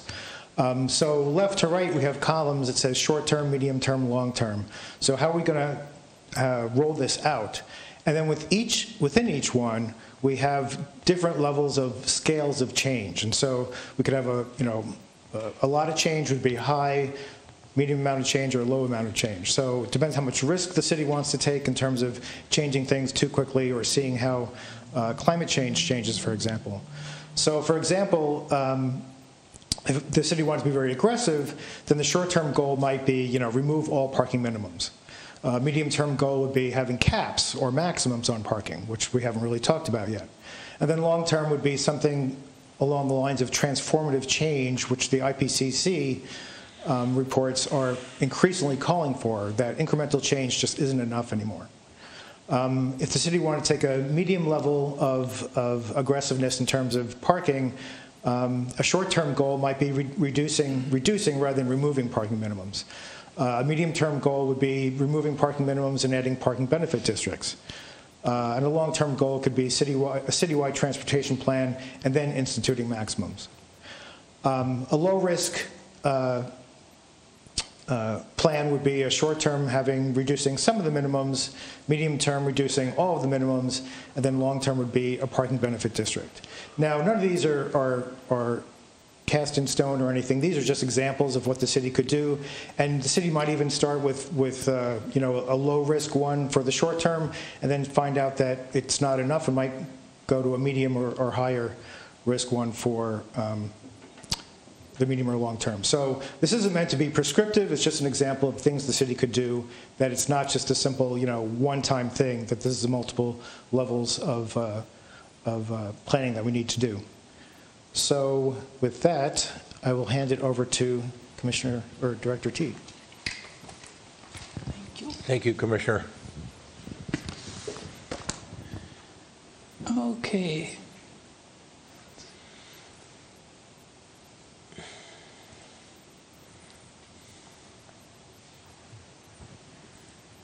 Okay, thank you, Mayor and members of the council, and thank you for recognizing the Planning Commission and all the hard work they do. They do a fantastic job and they put a lot of time in. Just like with this ordinance, we've put a lot of time in this as well. Also I want to recognize Commissioner, former Planning Commissioner Ian Nemiroff, who, uh, former chair of the commission, put a lot of time and effort into this as well. So just want to start out by saying this ordinance hasn't changed. This is the same ordinance that was presented to the council last summer. Um, our existing ordinance dates back to 1970. So it's in, in great need of, of some updating. As mentioned um, by the commissioners, this is kind of the first step in considering um, parking as a much, as a much uh, much bigger, bigger plan uh, for the city for both off-street parking, um, parking on street, district parking, all, all, the things that they talked about.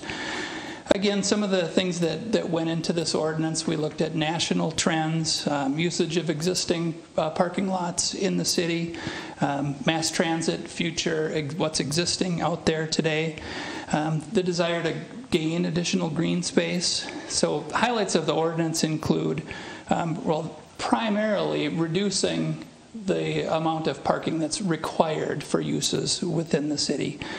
Um, it also, the ordinance also regulates a little bit differently depending on the node, um, which was requested by the by the city council, regulating differently for the different, um, you know, 50th in France area, 44th in France, et cetera. Um, we've provided some incentives in the ordinance for shared parking, and we have added maximums. We had a little bit of discussion about maximums at the last work session. I would imagine that would be a, a discussion point.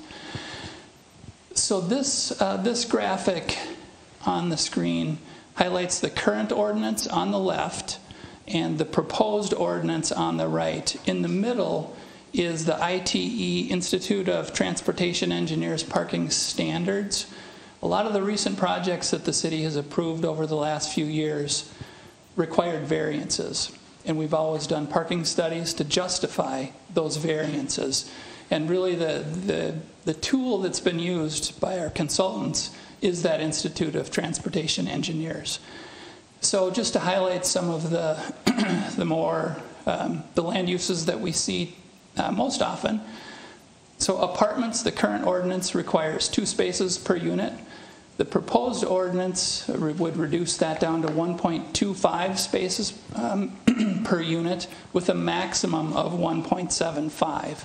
The ITE standard is 1.3 units, um, spaces per unit for a mid-rise and one space for a high-rise.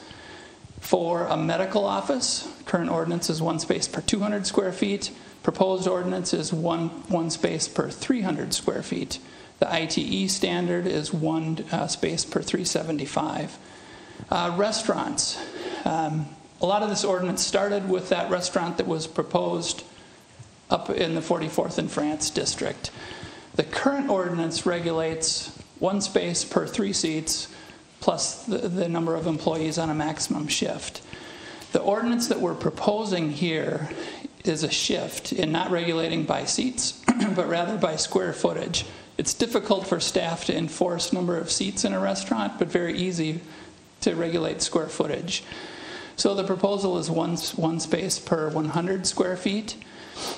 The ITE standard is one space per 81 square feet. Um, and I'll have a graphic that shows how those two compare to that restaurant that we looked at at 4,500. Uh, office space increases from um, current regulation of one space per 200 square feet to one space per 300 with a max of one space per 200 square feet. Uh, so the, the, the, last few here are within our, our nodes. So in the mixed use district, we're suggesting 1.75 spaces per unit currently and a reduction to one space per unit with a maximum of 1.5. Um, uses within a, a, a, planned commercial district office, one space per 200 square feet, reducing that to one space per 350, again with a maximum of one, uh, of uh, one space per 200 square feet. A uh, shopping center, so Southdale. Currently, the regulation is one space per 200 square feet. We're suggesting that be reduced to one space per 300 square feet, and again, that ITE standard is one space per uh, 340, 43 square feet. Uh, this, these next couple of slides provide um, exist, or recent projects that the city has approved. I won't go through in detail each one, other than to say the proposed ordinance, with the proposed ordinance, all of these projects would meet the proposed ordinance. So they wouldn't have required variances. Each one of these projects did require a variance. Um, and again, we, the justification that we used primarily is that ITE manual um, based on the, the consultant report. Just want to expand here on the restaurant.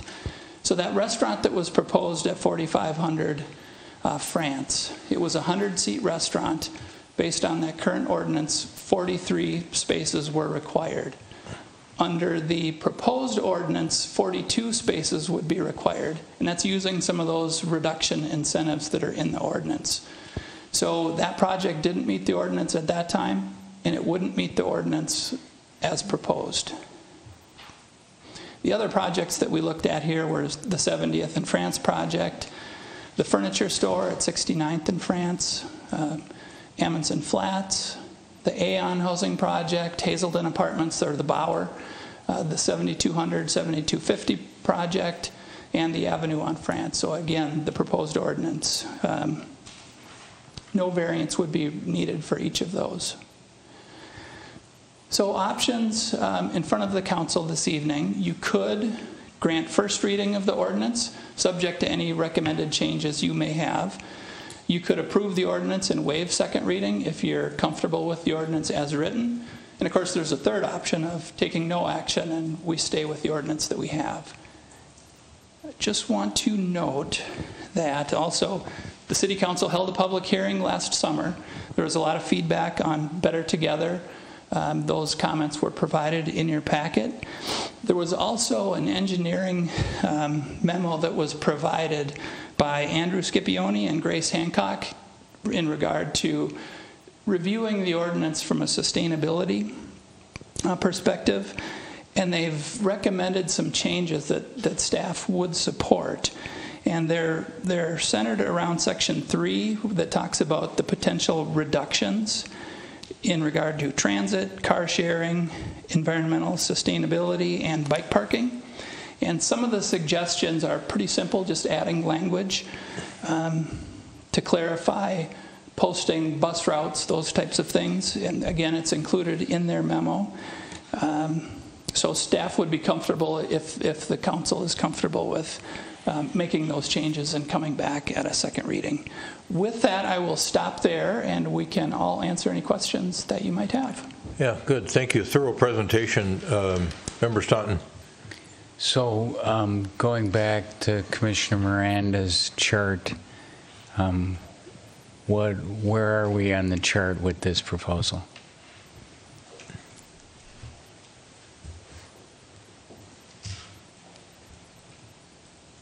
I think he had that. I think there was one more, one more slide that showed where we are. What happened to it? Let's do this.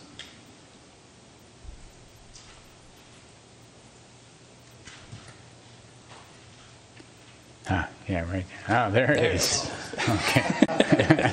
This forgot the last. uh, Yeah, so we're in, we're in the short term, and it's, um, So this is about the least aggressive, shortest term option. Yeah, I think really this is the reaction that we had is bringing the ordinance to where we're at right now. Um, so this hasn't really been touched. I would say there were a couple of adjustments made in the early 90s, but prior to that, this is an ordinance that was written in the 1970s. And so the adjustments, really showing, you know, the comparison to what ITE is bringing us in line with, with where we're at right now. And I think that's also evident given the, um, the variances and how uh, various proposals would have fallen in line with that. Um, the reason that we like to call that out is this is bringing us in line to where, where we're at right now, but is, if we as a city want to be more aggressive, be, be more forward thinking and leaning with that sustainability in mind, we should be taking more aggressive action towards reducing um, greenhouse gas emissions. So this is the beginning, not the end. Correct. I mean, in my in an ideal world, right? I, I think we continue with this as that first starting point, and then the Planning Commission would love to include in our 2023 work plan, continuing to look at parking in, as a whole, rather than just through our off-street uh, parking ordinances. Uh, potentially coming up with a, a working group or something like that to really pull together all of these phases with timelines. Right? There's no timelines here other than low, medium, and, and long, but really come up with that comprehensive strategy that drives us towards all of those goals that I started out with of, of sustainability, of, of driving, you know, safety in our, our community nodes and things like that.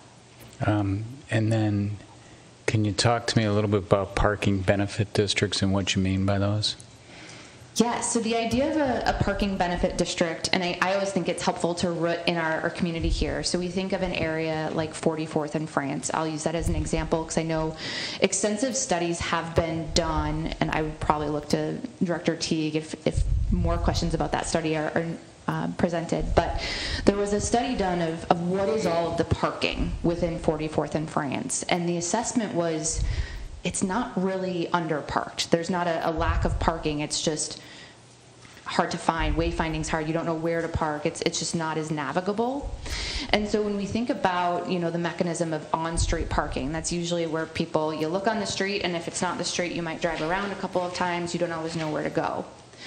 A parking benefit district could could be an idea of placing um, parking meters, probably something very techni- technology advanced, but parking meters along the street that would price parking such that there's always one or two open par- places on the street.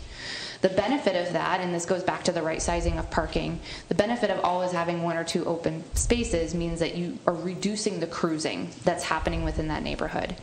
Um, but then when you think about adding in parking meters, um, the result of that is well, what, what happens with that money? How can we use that money to really improve that area?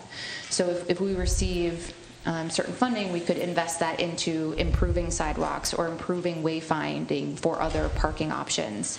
Um, really looking at how can we keep the, the funding, that the revenue that is gained from that within that local community to keep driving up um, kind of the options for pedestrians and, and overall public safety. So one potential use of that funding would be to build the district parking. That could be one option. Um, and I, I think that's where we'd really like to look at who are we pulling together in this working group and then what does that community need. And i think that there are a lot of really great examples of other cities that have enacted these parking benefit districts um, to look at what's worked well what hasn't worked well. Um, but i think in that area in particular we'd really want to evaluate is more parking at that node what what in particular is needed Sure. i don't know Yeah, if I may contribute. Um, So in terms of that parking study, that was done for the 44th and France Small Area Plan, which I was a, a part of. And what that study found, in fact, was that there's, there's plenty of parking, but it's not necessarily available to everyone at all times because it's privately owned. The- you A lot of the space is privately owned. And so um, having, as you described, a, you know, a, a shared parking area, that would allow um, less space to be dedicated to parking and more to other uses if the space is shared. So that's where that was going. Thanks. And I know I'm getting a little far afield here, but, but the publicly accessible parking, the on-street parking is free, but it's not really free, right? I mean, because we all pay for it. It's just that people who decide not to use it have to pay for it anyway because they're paying taxes and other things that take care of the streets and pay for it. Whereas if we required people to pay for it, then those who didn't need to use it wouldn't have to pay for it. And we could generate revenue to provide solutions that would be district-wide. Right, and that's partly an equity issue too, right? So anyone who decides to, to bike or walk to the neighborhood because they live nearby, um, why, why should they have to pay, you know, higher prices for products because the rent is higher, because the taxes are higher? You know, um, that's a very good point. yeah. Um, Can you talk to me a little bit about the notion of maximums? So I get the minimums, but, and I'm, and as I've watched over the years, watched the development community, I recognize that they have an incentive to make sure they have enough, because if they don't have enough, then they're not going to be able to lease their space, or they're not going to get tenants, or they're not going to be able to sell their building. Why do we need maximums? Um, So in, in, in um, this ordinance, the, um, as the phases showed, you know, this is, this is a low um, scale of change thing. So the maximums, it's not maximums everywhere. It's, it's pretty limited in terms of what the maximums are. So we were trying to go for something that, um, you know, would be the start of, of a discussion about maximums and, and where they would be uh, useful. But it's, it's, it's not like, uh, I, I don't have the exact ordinance here, but. um, Yeah, it's only on, a- I recognize it's only on a few things. I'm just looking at the theory behind why. I mean, are we really worried that people are going to create too much off-street parking on their site? I think when we began talking about maximums was when the, the Southdale Office Center uh, project was proposed, where they had the three parking ramps. Um, And in that project, they, they had provided about 700 parking spaces over what the city code required. Now, some of that was going to go toward district parking, but I think that where we began talking about that was we thought that development had too much parking in it, and that if we established some maximums, um, we could avoid that situation. Are there other ways for us to, um, during the land use review process, say no to too much parking? I suppose if it Without was a PUD, we could, but. We could as part of a But if it were just otherwise, they could, so long as they met the bulk standards and the use standards, then they could put in as much parking as they wanted. That's right. Okay. That's all I have, Mr. Mayor. Thanks. All right, thank you. Um, Member Jackson? Uh, Thank you, Mr. Mayor. Uh, So I've got this chart, uh, Mr. Teague, Director Teague, that you put together, and I- I want to disagree with, uh, or saying this is low, because it looks like you've reduced the minimums in every category in your chart. Office, medical office, retail, shopping center, restaurants, apartments, and senior apartments are all lower, except, I guess senior apartments isn't lowered. Um, But the others all look like they've been lowered from the current ordinance. I'm looking at the Edina 224 draft. Um, Is that, is that accurate? Yes, yeah, in, in general, we are lowering the parking requirements almost all across all uses, with the exception of restaurants, that's generally the same. I think, I think restaurants is also, it's going from, it- well, the number, the way it's calculated is changing. Um, And then there- I see two maximums for offices and for apartments. So I think we're actually on the medium as opposed to low, low, low change. So um, we've got both maximums put in, and we've pretty much changed, all- where we would be changing all the minimums. Correct. I just wanted to make that clear. Um, And and I want to thank you guys for this hard work. This has been a long time coming, and I remember when Chair Nemiroff, thank you for reminding us that, when he brought that up, like, yes, finally. So I know it- it's been hard, and and it's very complicated. Um, So I I do have some more questions. Um, one of the questions I had um, was, do we need any additional powers to create a parking benefit district? It sounds like maybe it's just a matter of putting meters in, or is there anything else to that that, um, that that we would need to have different powers in order to do? That's a great question and something that I would love us to explore more as we pick up more and more of these recommendations for an entire comprehensive parking recommendation. Um, but at this point, I don't know um, what that would take, how we would do it, or all of the logistics, and I think a lot of research would need to be done. Okay, great. I just would point out that with a lot of the environmental things, we look at what St. Louis Park is doing, but they're a charter city and we're a statutory city, so there are some limitations, and that always is the first thing that jumps to mind, but thank you. Um, The second question I have for you, I think goes to the 6800 France, and, and Member Staunton did that, that that could have been a situation where we wanted to lower the number of parking, and this would give us the tools now to do that. Um, That would be, we would project to the development community what our expectations are, so we wouldn't have to surprise them. Um, uh, And then with a maximum for apartment buildings, I guess what I'm thinking about is I, the sense that will this have enough space for um, apartments where there are roommates? Because we can understand maybe in a family, one car, um, you know, and they can commute together. But when you've got roommates coming together and some of these high-cost apartments that are getting built, will do we have any sense for the market for how many cars are needed when, when we've got roommates moving in? Yeah, it, it's difficult to predict if we were to, you know, the mechanism to go over the maximums would be then a variance. You know, where they could prove to the city that they need tho- that extra space, so we could approve or deny based on, based on whatever the facts are that they present to us. Okay, and, and then one last question. This is for you, Director Teague. You and I have had a conversation um, offline about spillover traffic. I know that was a lot of concern in the public hearing and in the Better Together comments.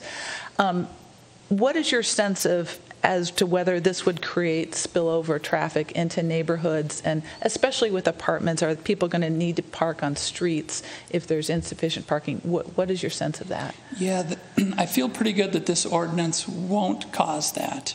Um, you know, when we look at the projects that we've approved um, in the ITE um, recommendations, yeah, I was very mindful just because after going through that variance process it, at 4500 France, that was the big issue, is that spilling out into the street. So that was kind of a one of the priorities for me as we were shaping this. That we're not quite ready for that. It's, I think it's going to be part of a discussion moving forward, but I don't think this ordinance is going to cause parking out into the streets. Okay, terrific. Um, And then one last question for our, our planning commission members. Have you had a chance to read the memo from um, Andrew Scipione and Grace Hancock, and are you comfortable with the suggestions that they made? I am, yes. Yeah, okay, terrific. Well, a- again, this is a massive undertaking, and I know it's a, it's a front door issue, as the mayor likes to say, that when, when this really impacts people, the way people live in the city. So it's, it is contentious, and you've, you've done a very nice job and a thorough job, so thank you so much. Thank you, Member Jackson. Member Pierce. Uh, Thank you, Mr. Mayor. Uh, So first off, I uh, applaud the work that you've gone through. Um, I think it's, I think it's very thorough, um, and I do appreciate all the effort that goes into it. Um, So just a couple of comments. Um, Can you put the, I'll call it the Staunton slide back up? I, um, so I, you know, I support this ordinance, um, but I want to tell you why. Because it's not because of what you have in it. It's because of all the other things that you've said. Um, and so what I mean by that is it is it's a it is smart to say what we have been looking at was built written in the 70s so we need to normalize it for what we do today before we figure out how aggressive we need to be to get to the future. And so I just think that that is a, a very pragmatic approach. Um, I liked the, um, when you talk about, and you talked a lot about goals and targets, right? Those, to me, those are the right things that we should be talking about. And so the philosophy of saying we have an outdated ordinance that we're going to normalize for what we do today, and we're going to continue to look at it and understand what goals we're going to establish and tweak this as we move forward. That, that just like that resonates with me because so many things are shifting. And so I, I definitely appreciate that. Um, I love that approach. On this slide, I actually interpreted this um, perhaps incorrectly, but I interpreted this as a philosophy change.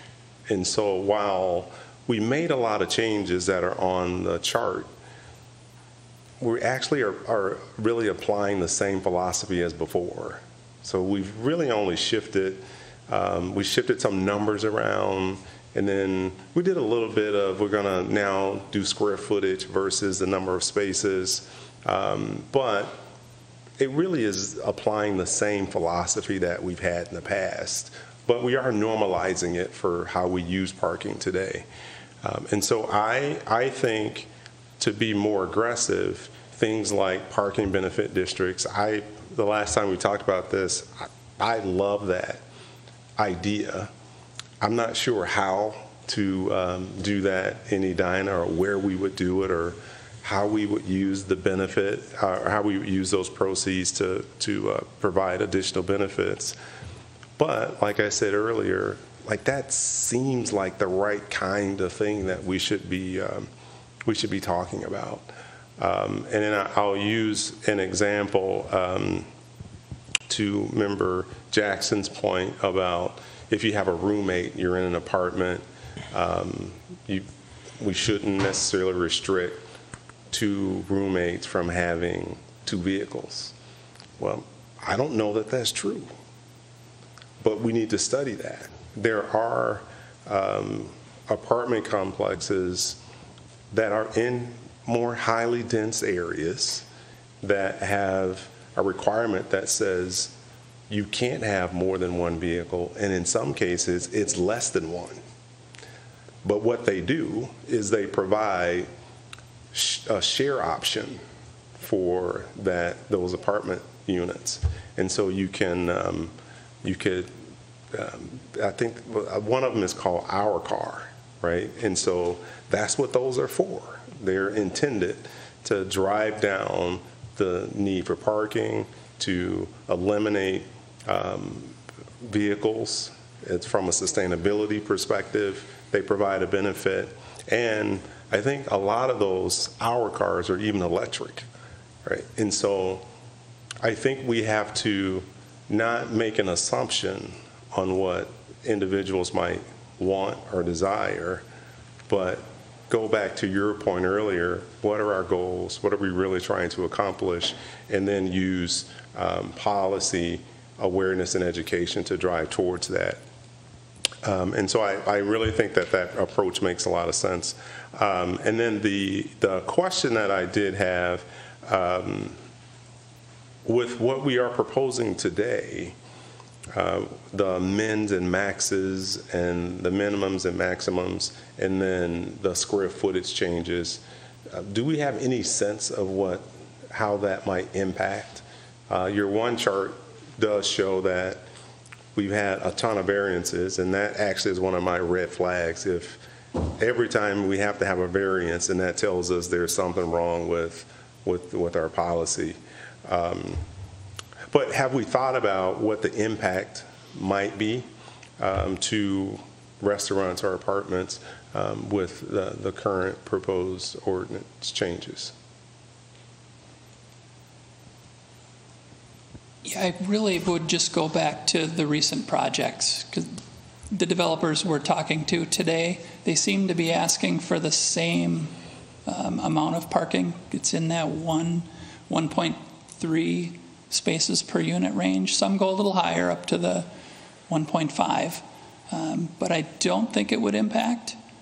Again, th- they're a way to, if we keep the maximums and they want a, a two units per apartment, you know, they can make that argument as part of a PUD and we could write that into the ordinance at that time.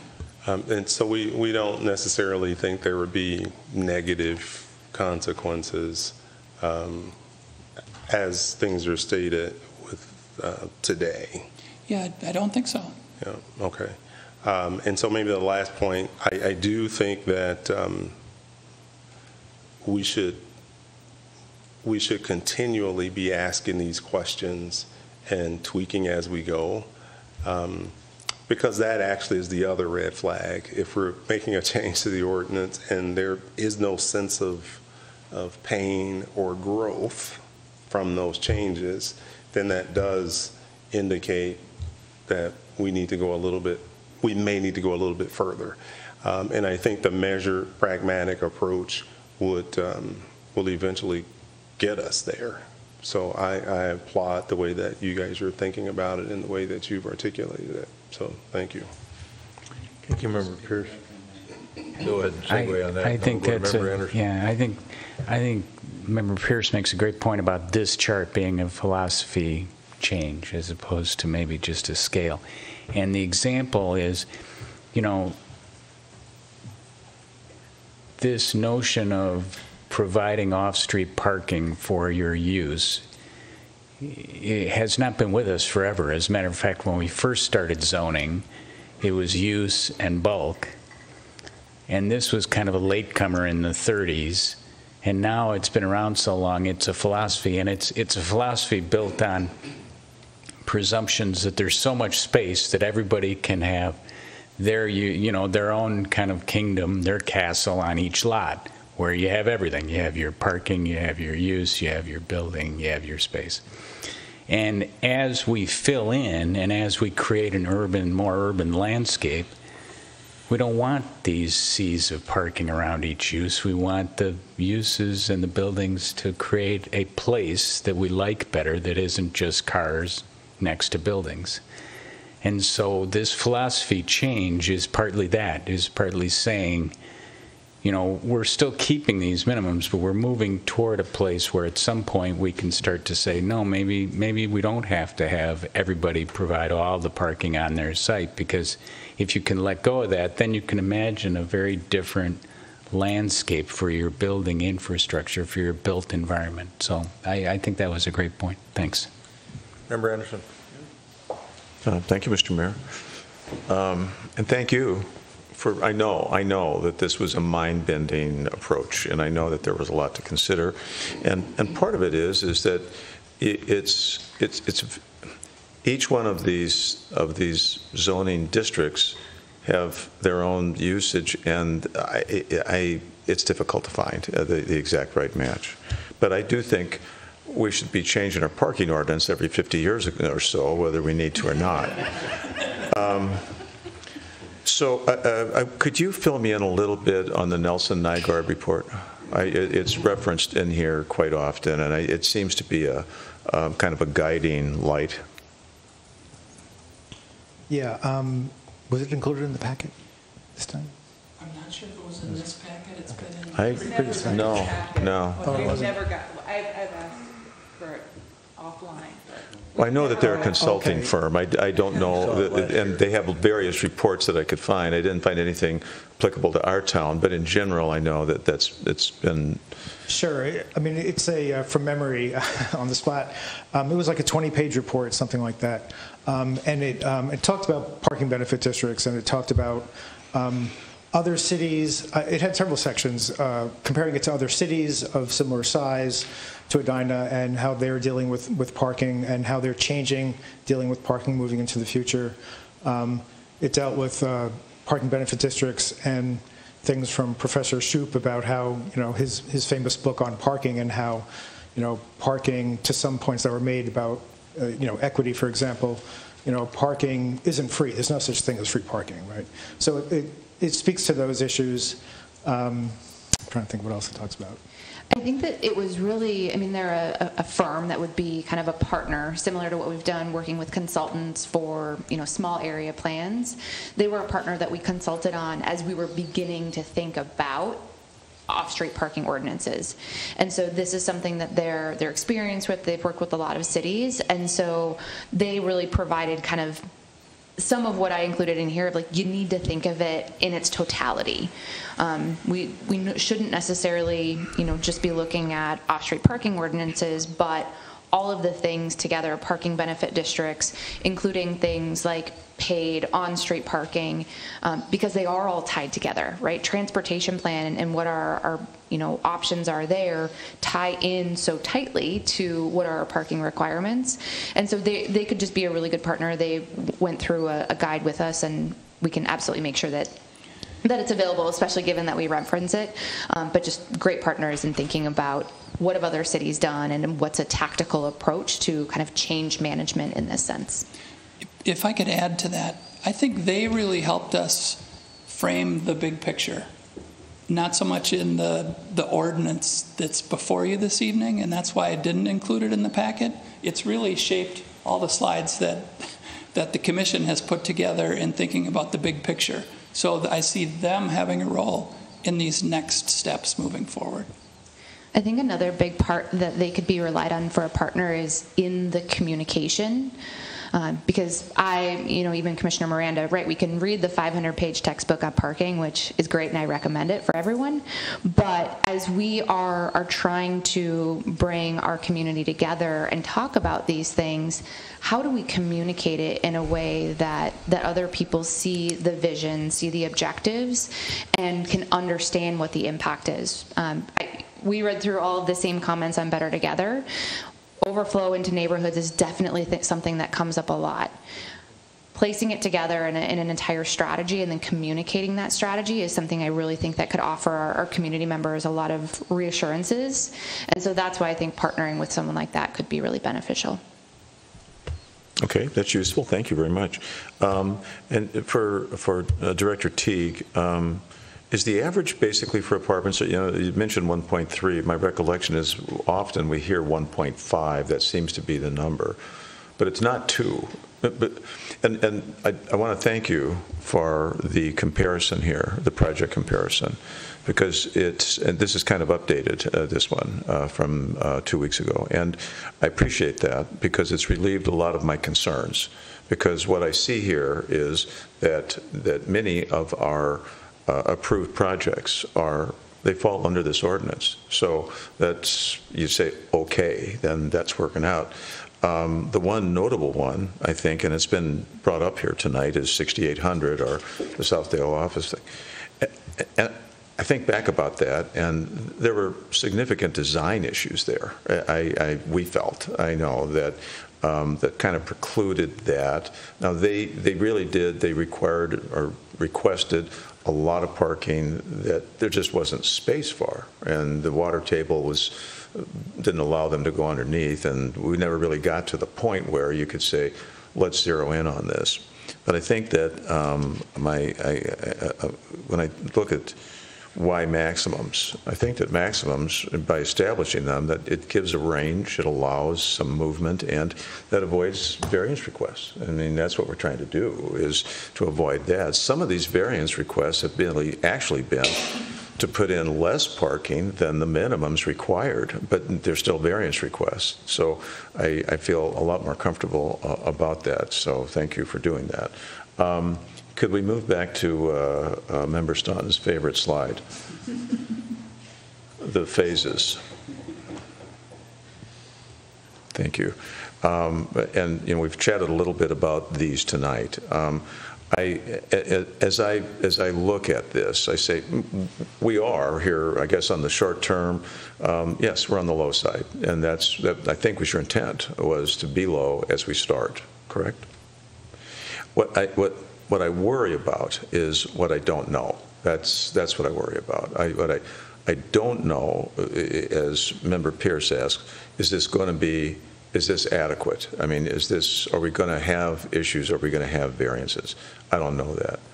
I don't know when we, when we lay out a scale of change, I don't know what people who are watching this and looking at this right now, developers, I don't know if they look at this and say, oh boy, look what these guys are planning, and I don't know if we can go there. If they don't know, I don't know. And that's so that that's what I worry about. I, I, I uh, this ordinance is solid, and I think it goes a long way to.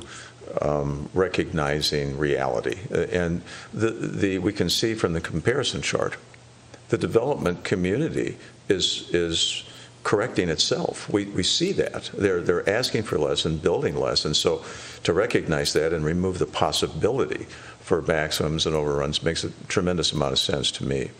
Um, I guess the only specific issue that I would bring to your attention, and I would like to have consideration on that going forward, is um, when we look at parking spaces for nursing homes, hospitals, hospices, I look at that and say, you know, every single one of those spaces is visitor parking. And we want to be very sensitive to that. And I, I, I, that would be one area that I think we should take a good look at before we um, absolutely clean it up, um, because I think that I think that is a, um, a mistaken approach. Um, so that that's my only concern and consideration here. Um, I worry, but we all worry. And so, um, uh, thank you for your hard work. Thanks, everybody. Uh, Great comments.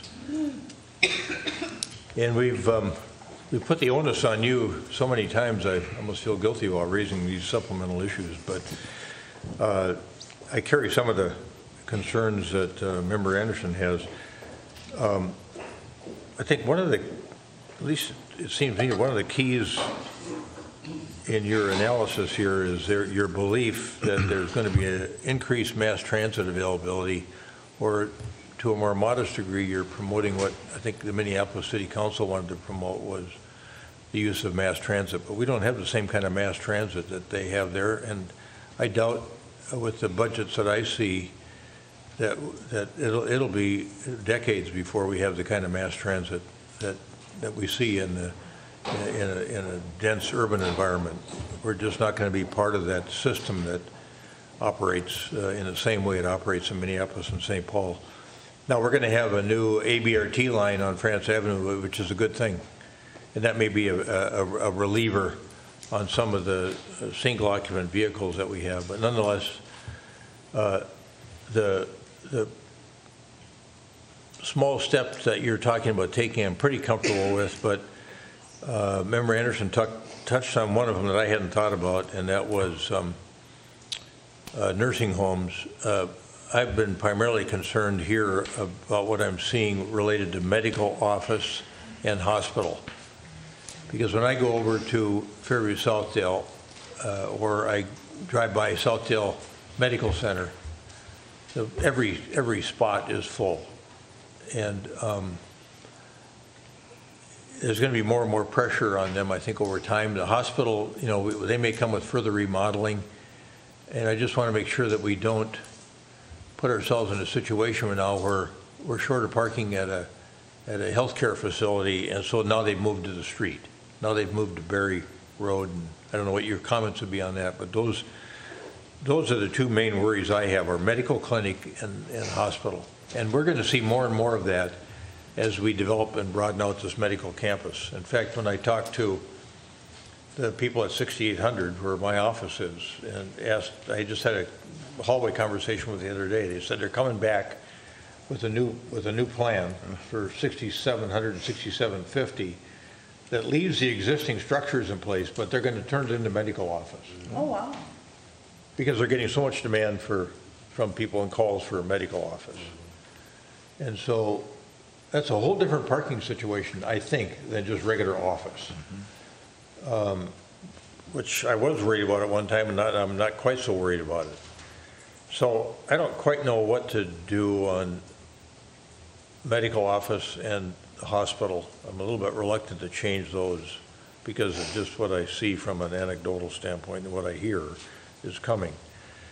Um, And the apartments, or on any of these categories, I mean, did you actually go out and talk to people that were in the apartment business or in nursing home business to see what they thought their pack parking situation was, or, you know, go to a a medical office, talk to restaurateurs, office buildings? Yeah, we didn't. It was mainly just the developer, um, developers Yeah. doing the office and, and apartments. And you had the data, of course, on what people have been asking for that are developing multifamily Right. apartment buildings. You had that data, which showed that you didn't need 2.0 spaces per unit. So that's given me a little bit of comfort there, because I thought somebody raised a good point here about, well, what if you got a roommate and they, I think it was you, remember Jackson? Uh, And they both want a car. Yes, Commissioner? Yeah, I think it's important to understand uh, when you talk about, um, uh, well, nursing homes, you're talking about potentially it being mostly for visitors. Um, But with a hospital, you're also talking about employees, right? And so I think it's important to understand that, um, you know, changing this uh, in the future, making it more restrictive, we'd have to understand what proportion of those spaces are used by employees and what proportion are used by visitors, for example. Because, for example, an employee may be more likely to take the BRT line, which goes right along uh, the hospital, for example. So, so I think that's, and that's partly why we talk about collaborating with the Transportation Commission, because I think these issues relate not just to land use, but it's also the transportation network and how that develops. And I think that the E-line is going to be, cause more change than I think we're, some of us are expecting. And so I think it's important to understand the different people who park. Yeah, and if you look at the ordinance, that's, it's embodied in the ordinance.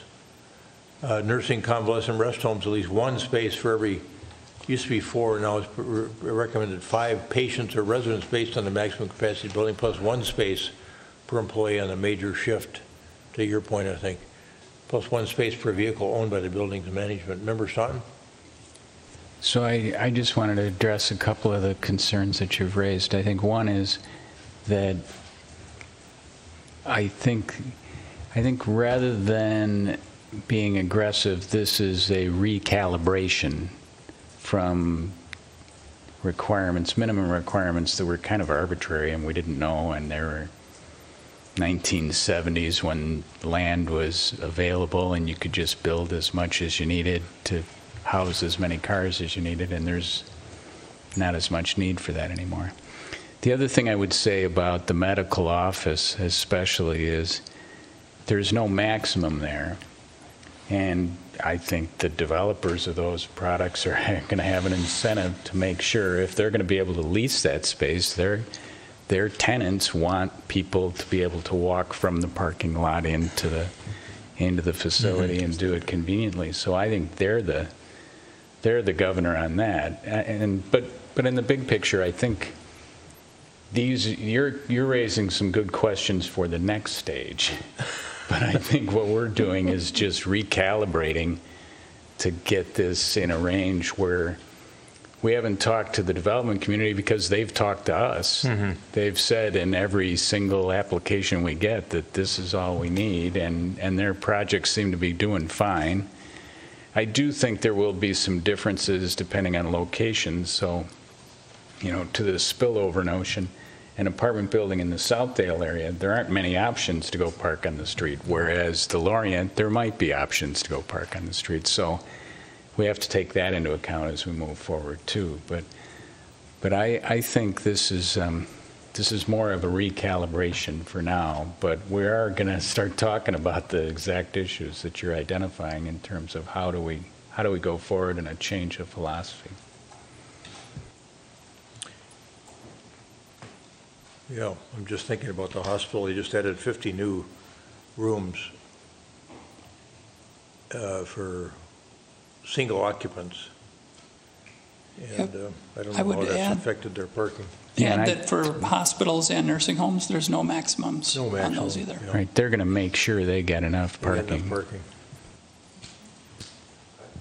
You know, the, I'll, just to add to that, I do think, and I understand the, the concern um, that you're raising, and I think oftentimes it's a governor for me personally on how far forward I push, but I would say we actually have to have everybody shift their paradigm. And we haven't done the work to do that. And so this really is normalizing from 1970 for what we've done today.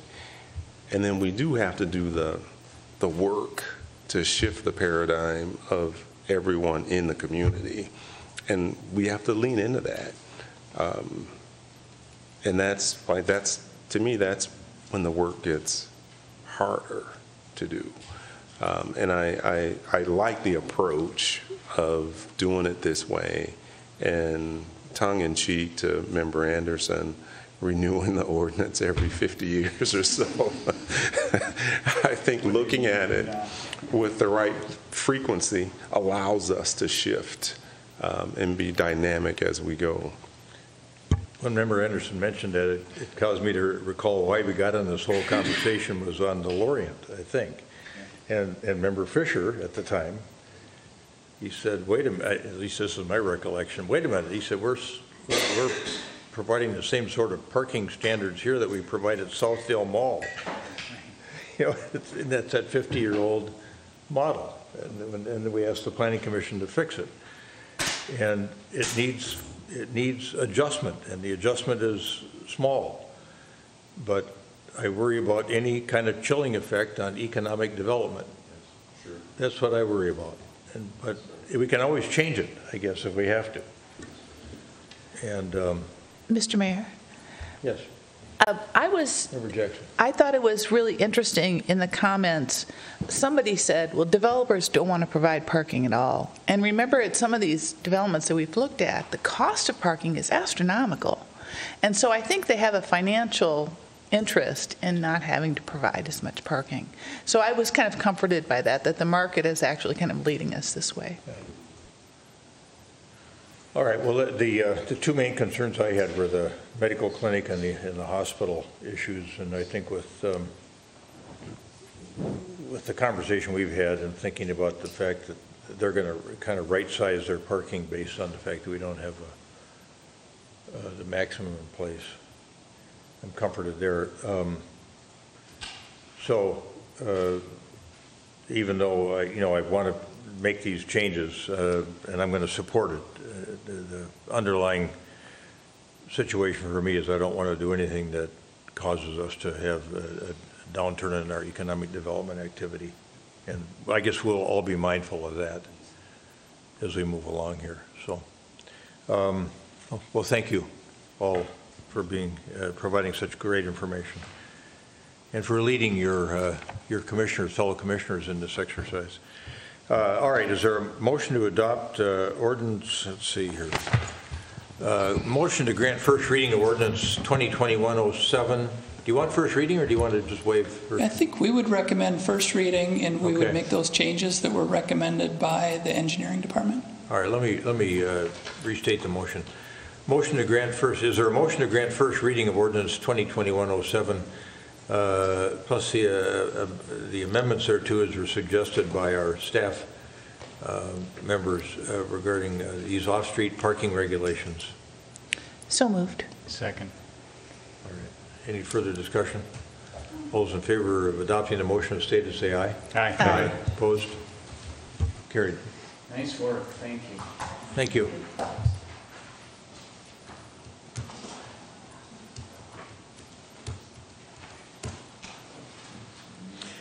The last two matters we have, we had in front of us a few weeks ago in the public hearing format, and now it is time for action one way or the other on these matters, and Director Teague has both of them. The school district applied for conditional use permits for both Concord and for Countryside Elementary for some work that was underway over there, and I'm just going to turn to Director Teague, and we'll take them one at a time. We'll go with the, uh, with Concord Elementary first. Yes, thank you, Mayor, members of the, of the council. At Concord, they're proposing a classroom addition. There's no changes to the on-site circulation, the parking areas. Um, We had no feedback from the last, from the time you held the public hearing until the public hearing closed last Monday. So staff and the planning commission are recommending approval of the conditional use permit that's subject to the conditions and findings in the resolution. All right, good. Any Questions for Director Teague? All right. Is there a motion to adopt Resolution 2022-62, which would approve the issuance of the conditional use permit uh, to the school district regarding Concord Elementary School? So moved. Second. All right, motion by Member Jackson, second by Member Pierce. Uh, Any further discussion? All those in favor of adoption of the motion as stated, say aye. Aye. Aye, opposed, carried. And then uh, Resolution 2022-61 involves Countryside Elementary School. Back to Director Teague. Yes, thank you, Mayor, members of council. A little more to this one. There were six classroom additions, and they were also reconfiguring the uh, parking lots to, for safety to separate bus traffic from parent drop-off from pedestrians moving onto the site. Uh, The Planning Commission added a condition that the school district consider EV charging stations. And the school district, as we talked about at the last meeting, uh, they have agreed to that condition, and they're going to be including uh, the conduit for those EV charging stations um, when the project is built. So with that, again, uh, we didn't receive any additional feedback, and staff and planning commission would recommend approval, subject to the findings and conditions in the resolution. Questions for Director Teague? I've got one for you. Uh, Some of the neighbors over there contacted me, and I think one of the, uh, I think the school district employee that was here uh, discussed it, but there was, a- it was an extension of the berm over towards Stewart to keep the, Like, you know, the lights down early in the morning, late at night when people were coming and going, picking up kids. Is, is that embodied in the resolution? I didn't see it in there. What's embodied in the resolution, in addition to the, the berm that's proposed, is filling in the gaps in the landscaping. Um, There were several gaps around the perimeter on both streets, and the school district has agreed to fill those, those areas in, subject to working with uh, Luther Overholt, the city, the city forester. Okay, so that sounds to me more like uh, deciduous or or conifer as opposed to building up a, a bank or filling in a gap in a bank. Yes, yeah, it would be year-round evergreen screening, correct. Yeah, so what, so where's the language about filling in the gaps in the, in the bank? Uh, That is, yeah, so you- we're approving the plans, and the berm is in the grading plan, and the condition to fill in the gaps is one of the conditions listed in the resolution. All right. Okay. Uh, Is there a motion to adopt Resolution 2022-61, which would approve the issuance of the conditional use permit to the school district for the work they're doing at Countryside Elementary School? So moved. Second. Commissioner Jackson moves, Commissioner Commissioner Pierce seconds. The motion is stated. Any further discussion? All those in favor of adoption of the motion uh, uh, adopting Resolution 2022-61, say aye. Aye. Aye. Opposed? Carried. And that is it for the bulk of the agenda this evening. Folks, thanks for your good work. Um, Madam Chair is still here from the Planning Commission. She just couldn't get enough of us yet tonight, so thanks, thanks for sticking around. And then we're going to go to the manager's comments, which would include an update, I think, on quarterly business reports and maybe some other matters as well. Manager Neal. Thank you, Your Honor. I Just want to highlight one uh, particular item out of our uh, quarterly, uh, the Q2 business, uh, business report. That is the, the status of, of uh, our permits, building, uh, uh, building valuation that we are seeing so far this year. We are at, by the end of June, valuations totaling $254 million of new construction uh, in Edina the first half of, of this year. That compares with 170 million from the same time last year, so it's a 50% increase. And uh, we will exceed, without a doubt, we will exceed 300 million uh, this year in new construction for the first time in the city's history. Um, That is a very significant amount of, of, of growth. Um, in the community in terms of valuation growth, and it will, uh, if we do that a couple of years in a row, that will make a material difference in, in our tax base, and residents will, will feel that in a few years in terms of uh, the way that we're going to have a bigger pie to spread our, our local government spending over. So it's significant. Thank you, Manager Mhm. Neal. Anything else? Nope. All right. Uh, Councilmember Jackson, nice to have you back with us. Thank you, Mr. Mayor. It's lovely to be back. It was hard to watch from home last time, but you did a great job. I was cheering you on. Um, so, a couple of things. Um, I want to thank the police department, especially Officer Jepson, for organizing Night to Unite last night for us. It was a great event. I went out with Deputy Chief Olafsky and um, uh, Officer Davis, and we saw a lot of kids. Uh, love the flashing lights on the car, and I just want to thank everybody who worked to organize and just to show up to the Night to Unite. It was it was a great evening, and it was fun to see people get together again.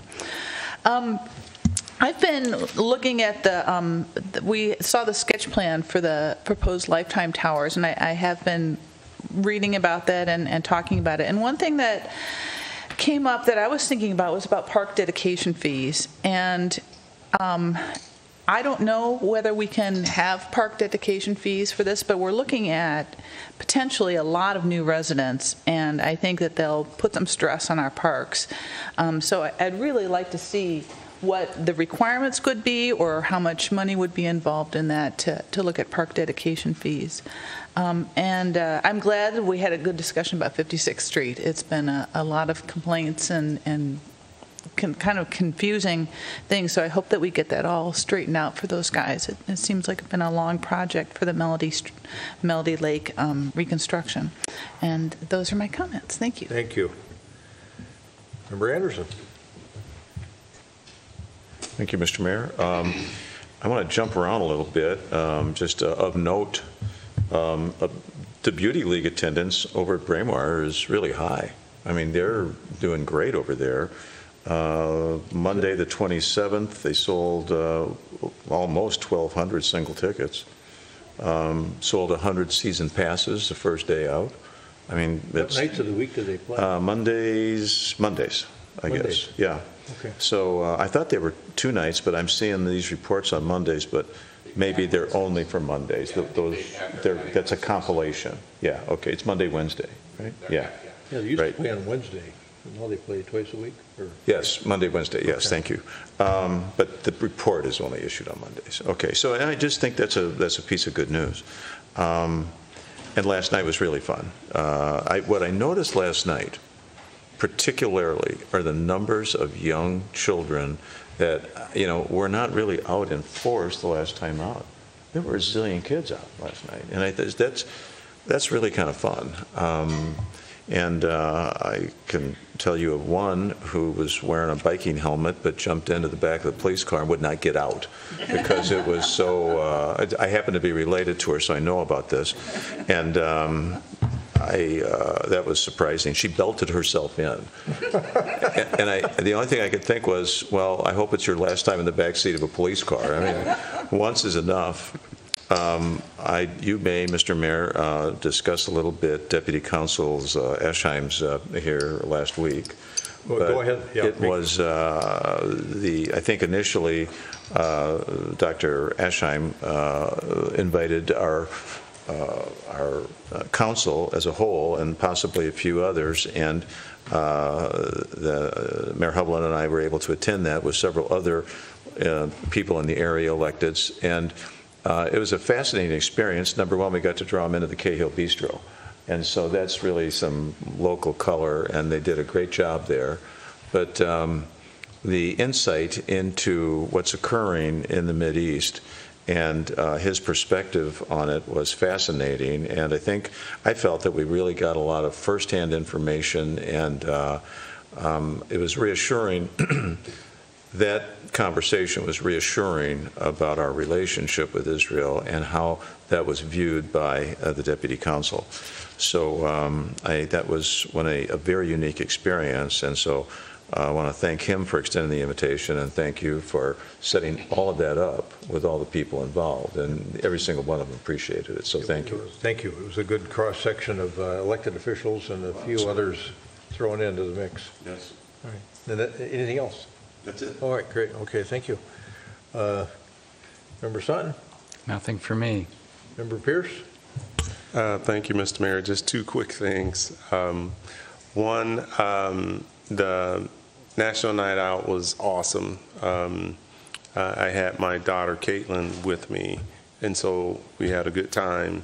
Um, But the one thing that I wanted to highlight, and I think this is the reason we do this, so we were at um, the Village Street um, location, and um, we were about to leave, and one of the uh, residents came up and pointed to Amundsen Flats. And I was prepared for complaints or something like that. Um, but she keeps talking about it, and, and I'm not quite sure where we're going. But then resident says, you know, we should have better outreach um, than we have right now. And there are lots of kids in in that apartment complex, and so she's pointing. Um, and apparently, she had walked over and um, talked to the the manager about National Night Out, and um, it was a little bit too late for them to try to plan something. And then she said, "You know what we ought to do?" And she's talking to their president, uh, their their association. You know what we ought to do next year? We should have one person plan both of them, and then we could do it jointly. And I just thought, you know, I'm prepared because we have had issues over there. I'm prepared for that, and um, I just thought it was a wonderful example of our community trying to, to come together. Um, so they took the the um, the to do for next time to reach out and try to plan something together. So I thought that was pretty cool. Um, and then my other one, I um, I was at Braemar. I think this might have been last Saturday, and I'm at the driving range, and I'm focused. I'm dialed in. And then I hear somebody trying to give golf balls away, and they're pretty loud about it. so I turn around, and it was, it was the mayor. and we were on the far left side. You didn't even see didn't me. see right. You didn't even see me. No. We were on the far left side, and uh, I think um, Mayor turned to the uh, some young kids that were right next to him and asked, "Hey, you want these balls?" They didn't want them. No, it was too hot. Right, it was too hot, and and Jim walked practically all the way to the other side. Dropping golf Being the mayor, trying to spread some goodwill with giving away those golf balls, and so I thought that was, uh, I thought that. I wish I would have seen you there. so I thought I thought that was funny. I could have given you some gold. You could have given me some, right? That's true. You didn't holler, I'll take them. right, right.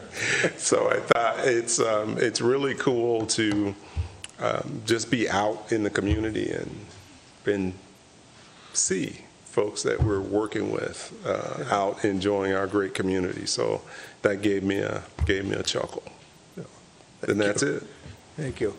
A couple questions for Director Millner. Uh, As we talked about 56th Street, uh, Member Jackson talked about it, it reminded me that we've got some issues on 58th as well that we need to deal with, both east and west of France. We've had several people contact us about that as well, and I'm assuming you're going to send some folks over there to look at the condition of things there as well, both Correct. east and west of France. Yep, correct. We have a list of properties, and we're looking at um, the property proper, and then also the little strip of boulevard area, which we typically don't like because we know it's notorious for not growing grass, so we suggest daylilies and other ground cover. So we're asking people if they want to switch to some of those plants, Um, and we're going to correct some of those tougher areas out there. Okay, good. That's good to hear. Same sort of customized approach you're going to take that is. over there as you did on 56? Yep. Because I noticed when I was on 58th, uh, the the yards that decided to put in those lilies, they're, they're doing great. They're tough. Exactly. And they look wonderful, but uh, some of the other boulevard areas look pretty bad. Yep. So thanks for that. And then um, uh, 50th and France traffic study. You- Did you get somebody lined up for that on that east-west study? Yep, we're working with TKDA on that. They're putting together a proposal right now. We told them we wanted to get that expedited, so once we see their proposal, I'll review that with Manager Neal, and we'll keep moving forward on that. So Okay. we did get approval from Met Transit. They're going to give us all the data. They're going to give us all their models, so we can start with, review their assumptions and review that model and start from there. All right, I mentioned it to a couple of folks at the Southwest LRT meeting today that are on the Met Council that we were going to do this study. So I think all of you know that the, the big conversation with the Met Council is not about whether we want uh, the E line, the ABRT line going down France Avenue, but where to put the stations. And they want them right at 50th and France. And we're suggesting that they should be down at 51st and France. Because once you start running those articulated buses, especially in the PM peak, when you got all those people going east, our instinct is that it's just going to be a uh, even more congestion. Yeah, And and the council has previously approved that policy Yeah. uh, option, so we're- we really are kind of sticking with something the council has asked for.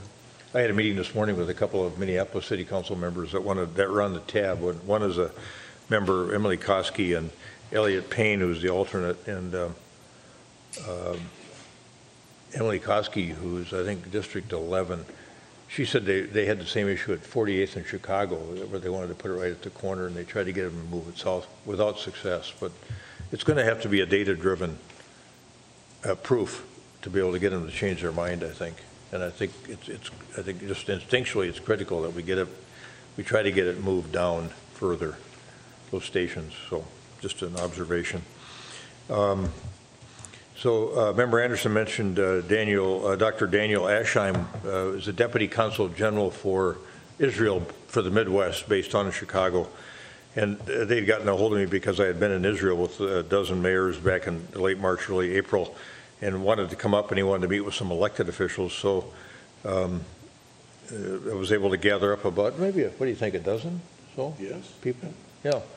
And um, it was a, it was a real, really wonderful lunch, and he was real gracious about inviting us all down to Chicago, and, and anytime we're there, get a hold of him. So um, that was a, a really uh, a nice experience. Um, I, I had uh, Jennifer Garsky send out to all of you uh, the materials on Southwest LRT. I thought this was a pretty interesting uh, corridor management committee meeting uh, in terms of the update of it. And I asked Director Bennerotte to just pull, I thought, I thought you ought to see the, and I think for our uh, members of our, of our community, see the, the civil stage that we're at, on the civil engineering stage. And this is, this is going to be it here. And she, I think Director Bennerotte will just run the screen here. So, uh, you know, you think about the 20, it's still uh, 2027 for projected beginning of operations, but look at uh, how far along they are. And if you look at the overall system, they'd probably be in that 60 to 70 percent completion range. So here's, go ahead and just scroll. I think you can you can see the stations in in uh, Minnetonka, and, and uh, you just saw one of the stations in Eden Prairie. There's three out there downtown Hopkins. That's a nighttime photo of that station. It's going to be a real nice station. There's that bridge over um, Excelsior Boulevard. You've probably all seen that. Go ahead, just keep scrolling. And uh, yeah, there's a little bit more distant view of that. Um, and then Blake Road and Hopkins, as many of you know, there's a bunch of work being done at that intersection with Excelsior Boulevard. Um, there's a, one of the St. Louis Park stops, and you can just keep going. I think people can see the Beltline St. Louis Park close to completion. And then these uh, these secant piles that they're driving in the in the Kenilworth corridor. It's going to take a while to get that work done yet, and they've got a temporary bike path open there. Um, And then they're working on the Kenilworth uh, LRT tunnel too. Uh, At the same time, they're putting in those secant pilings. And then there's a new Cedar Avenue Bridge. Um, And then there's one that's being used, what, just a section over in Bryn Mawr neighborhood to get over and get access.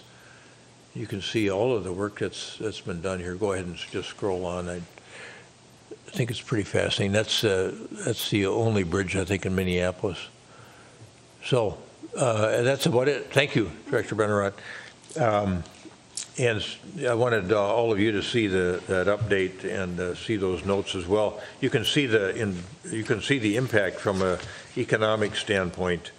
Um, They had the city development updates from Dave Lindahl out in Eden Prairie. Um, They're projecting, um, oh, in Minnetonka and, uh, I forget what it, they're over, I think they're over $2 billion in, in uh, development so far uh, in those three towns of Eden Prairie, Minnetonka, and Hopkins. So that was, uh, there's some, really some good stuff going on for those communities that are on the line. Um, And then, uh, Councilmember Jackson mentioned uh, Jeff Alaskey, that she was with him part of the evening last night. He's our deputy chief, as many of you know, has been with the city about 30 years and announced his retirement yesterday. Uh, And is going to retire, I think, uh, end of, Au- eight- 19th of August is what I remember him saying. So we'll have to celebrate him a little bit. Maybe we can get him here for our next meeting and maybe tell him how much we appreciate him. Um, With respect to the project down on, uh, at uh, Weber Woods, uh, in the stormwater management project we got going on down there, uh, when I've been down at 50th in France, I see the side dumpers coming through there hauling dirt back and forth. It's, it's really, I don't know how they're managing that, but it, it, it, you know, you wish you could steer them in a different direction. Why don't you go north on Excelsior Boulevard and, or go on France Avenue and go to Excelsior Boulevard and go out to 100 and go around, but they're going up and down France Avenue. I don't know what your thoughts are on that, but boy, it looks, it's, it's kind of harrowing when you see those big trucks coming down through that tight intersection.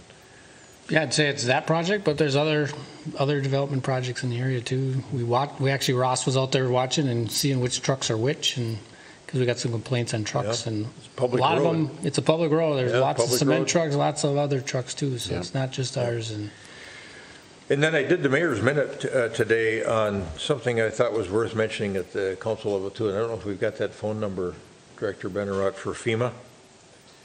But um, the federal, uh, apparently Congress uh, passed as part of the uh, COVID packages that they worked on, and the, I suppose in conjunction with ARPA and everything else, they're offering $9,000 to people to help with funeral expenses uh, for COVID-related deaths. And we brought it up today in uh, the mayor's minute because we had four folks just recently pass away again from COVID.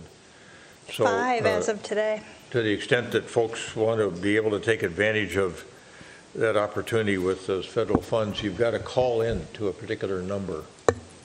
Yeah, that number is 844-684-6333. Why don't you repeat it one more time? Sure, please. that number it's is 844 684 6333 as you mentioned, Mayor, you do have to call. It takes about 20 minutes to apply over the Oh, phone. there it is, okay. And it's open from 8 AM to 8 PM, Monday through Friday. All right, good, thanks for that, Director Bennerotte. Um, Yeah, that's it on, on my list, so, Mr. Mayor, your comments on F- France Avenue and 50th and France reminded me, I went to a meeting um, that Hennepin County held uh, with the residents on France. They're talking about a restriping project. Oh, good. And I think that we've heard about that. Um, I attended, and there were two business owners there from 44th and France. And so what they're proposing is eliminating parking on France and creating a bus line, striping, or or striping a bike lane um, instead. And there were numerous complaints from people who lived there concerned, especially from elderly people, that their guests would have a long walk then to their home um, and not be able to, to have family visit and things like that. So I'm, I'm going to write up a report and send that. Um, I've been, I think I sent it to Manager Neal and Andrew Scipioni, and I will be submitting some comments on that. Okay, that's, that'll be good. Yeah. I know the merchants down at 44th and France have really been concerned about loss of on-street parking. Right. Right- right. Rightly so, I think. Yeah. And I think uh, Commissioner LaTondresse is sensitive to that, too. At least we've had conversations with him about that, Yeah. so. Thank you. All right, I think that's it. Did that prompt anything else from any other council members? I think Councilmember Anderson is recommending to get out and see the Beauty League folks. You can still get there tonight. I did uh, incidentally meet uh, one of our residents, Zach Parise, who was uh, at one of the high school grad parties I was at, so it was fun to meet him. He and his mother were there. All right, uh, is there a motion to adjourn? So moved. Is there a second? Second. We got a motion by Member Jackson, second by Member Pierce, that we adjourn the meeting of the City Council on this third day of August, 2022. Anything further? All right, uh, those in favor of adjournment, say aye. Aye. Opposed? Carried. We stand adjourned.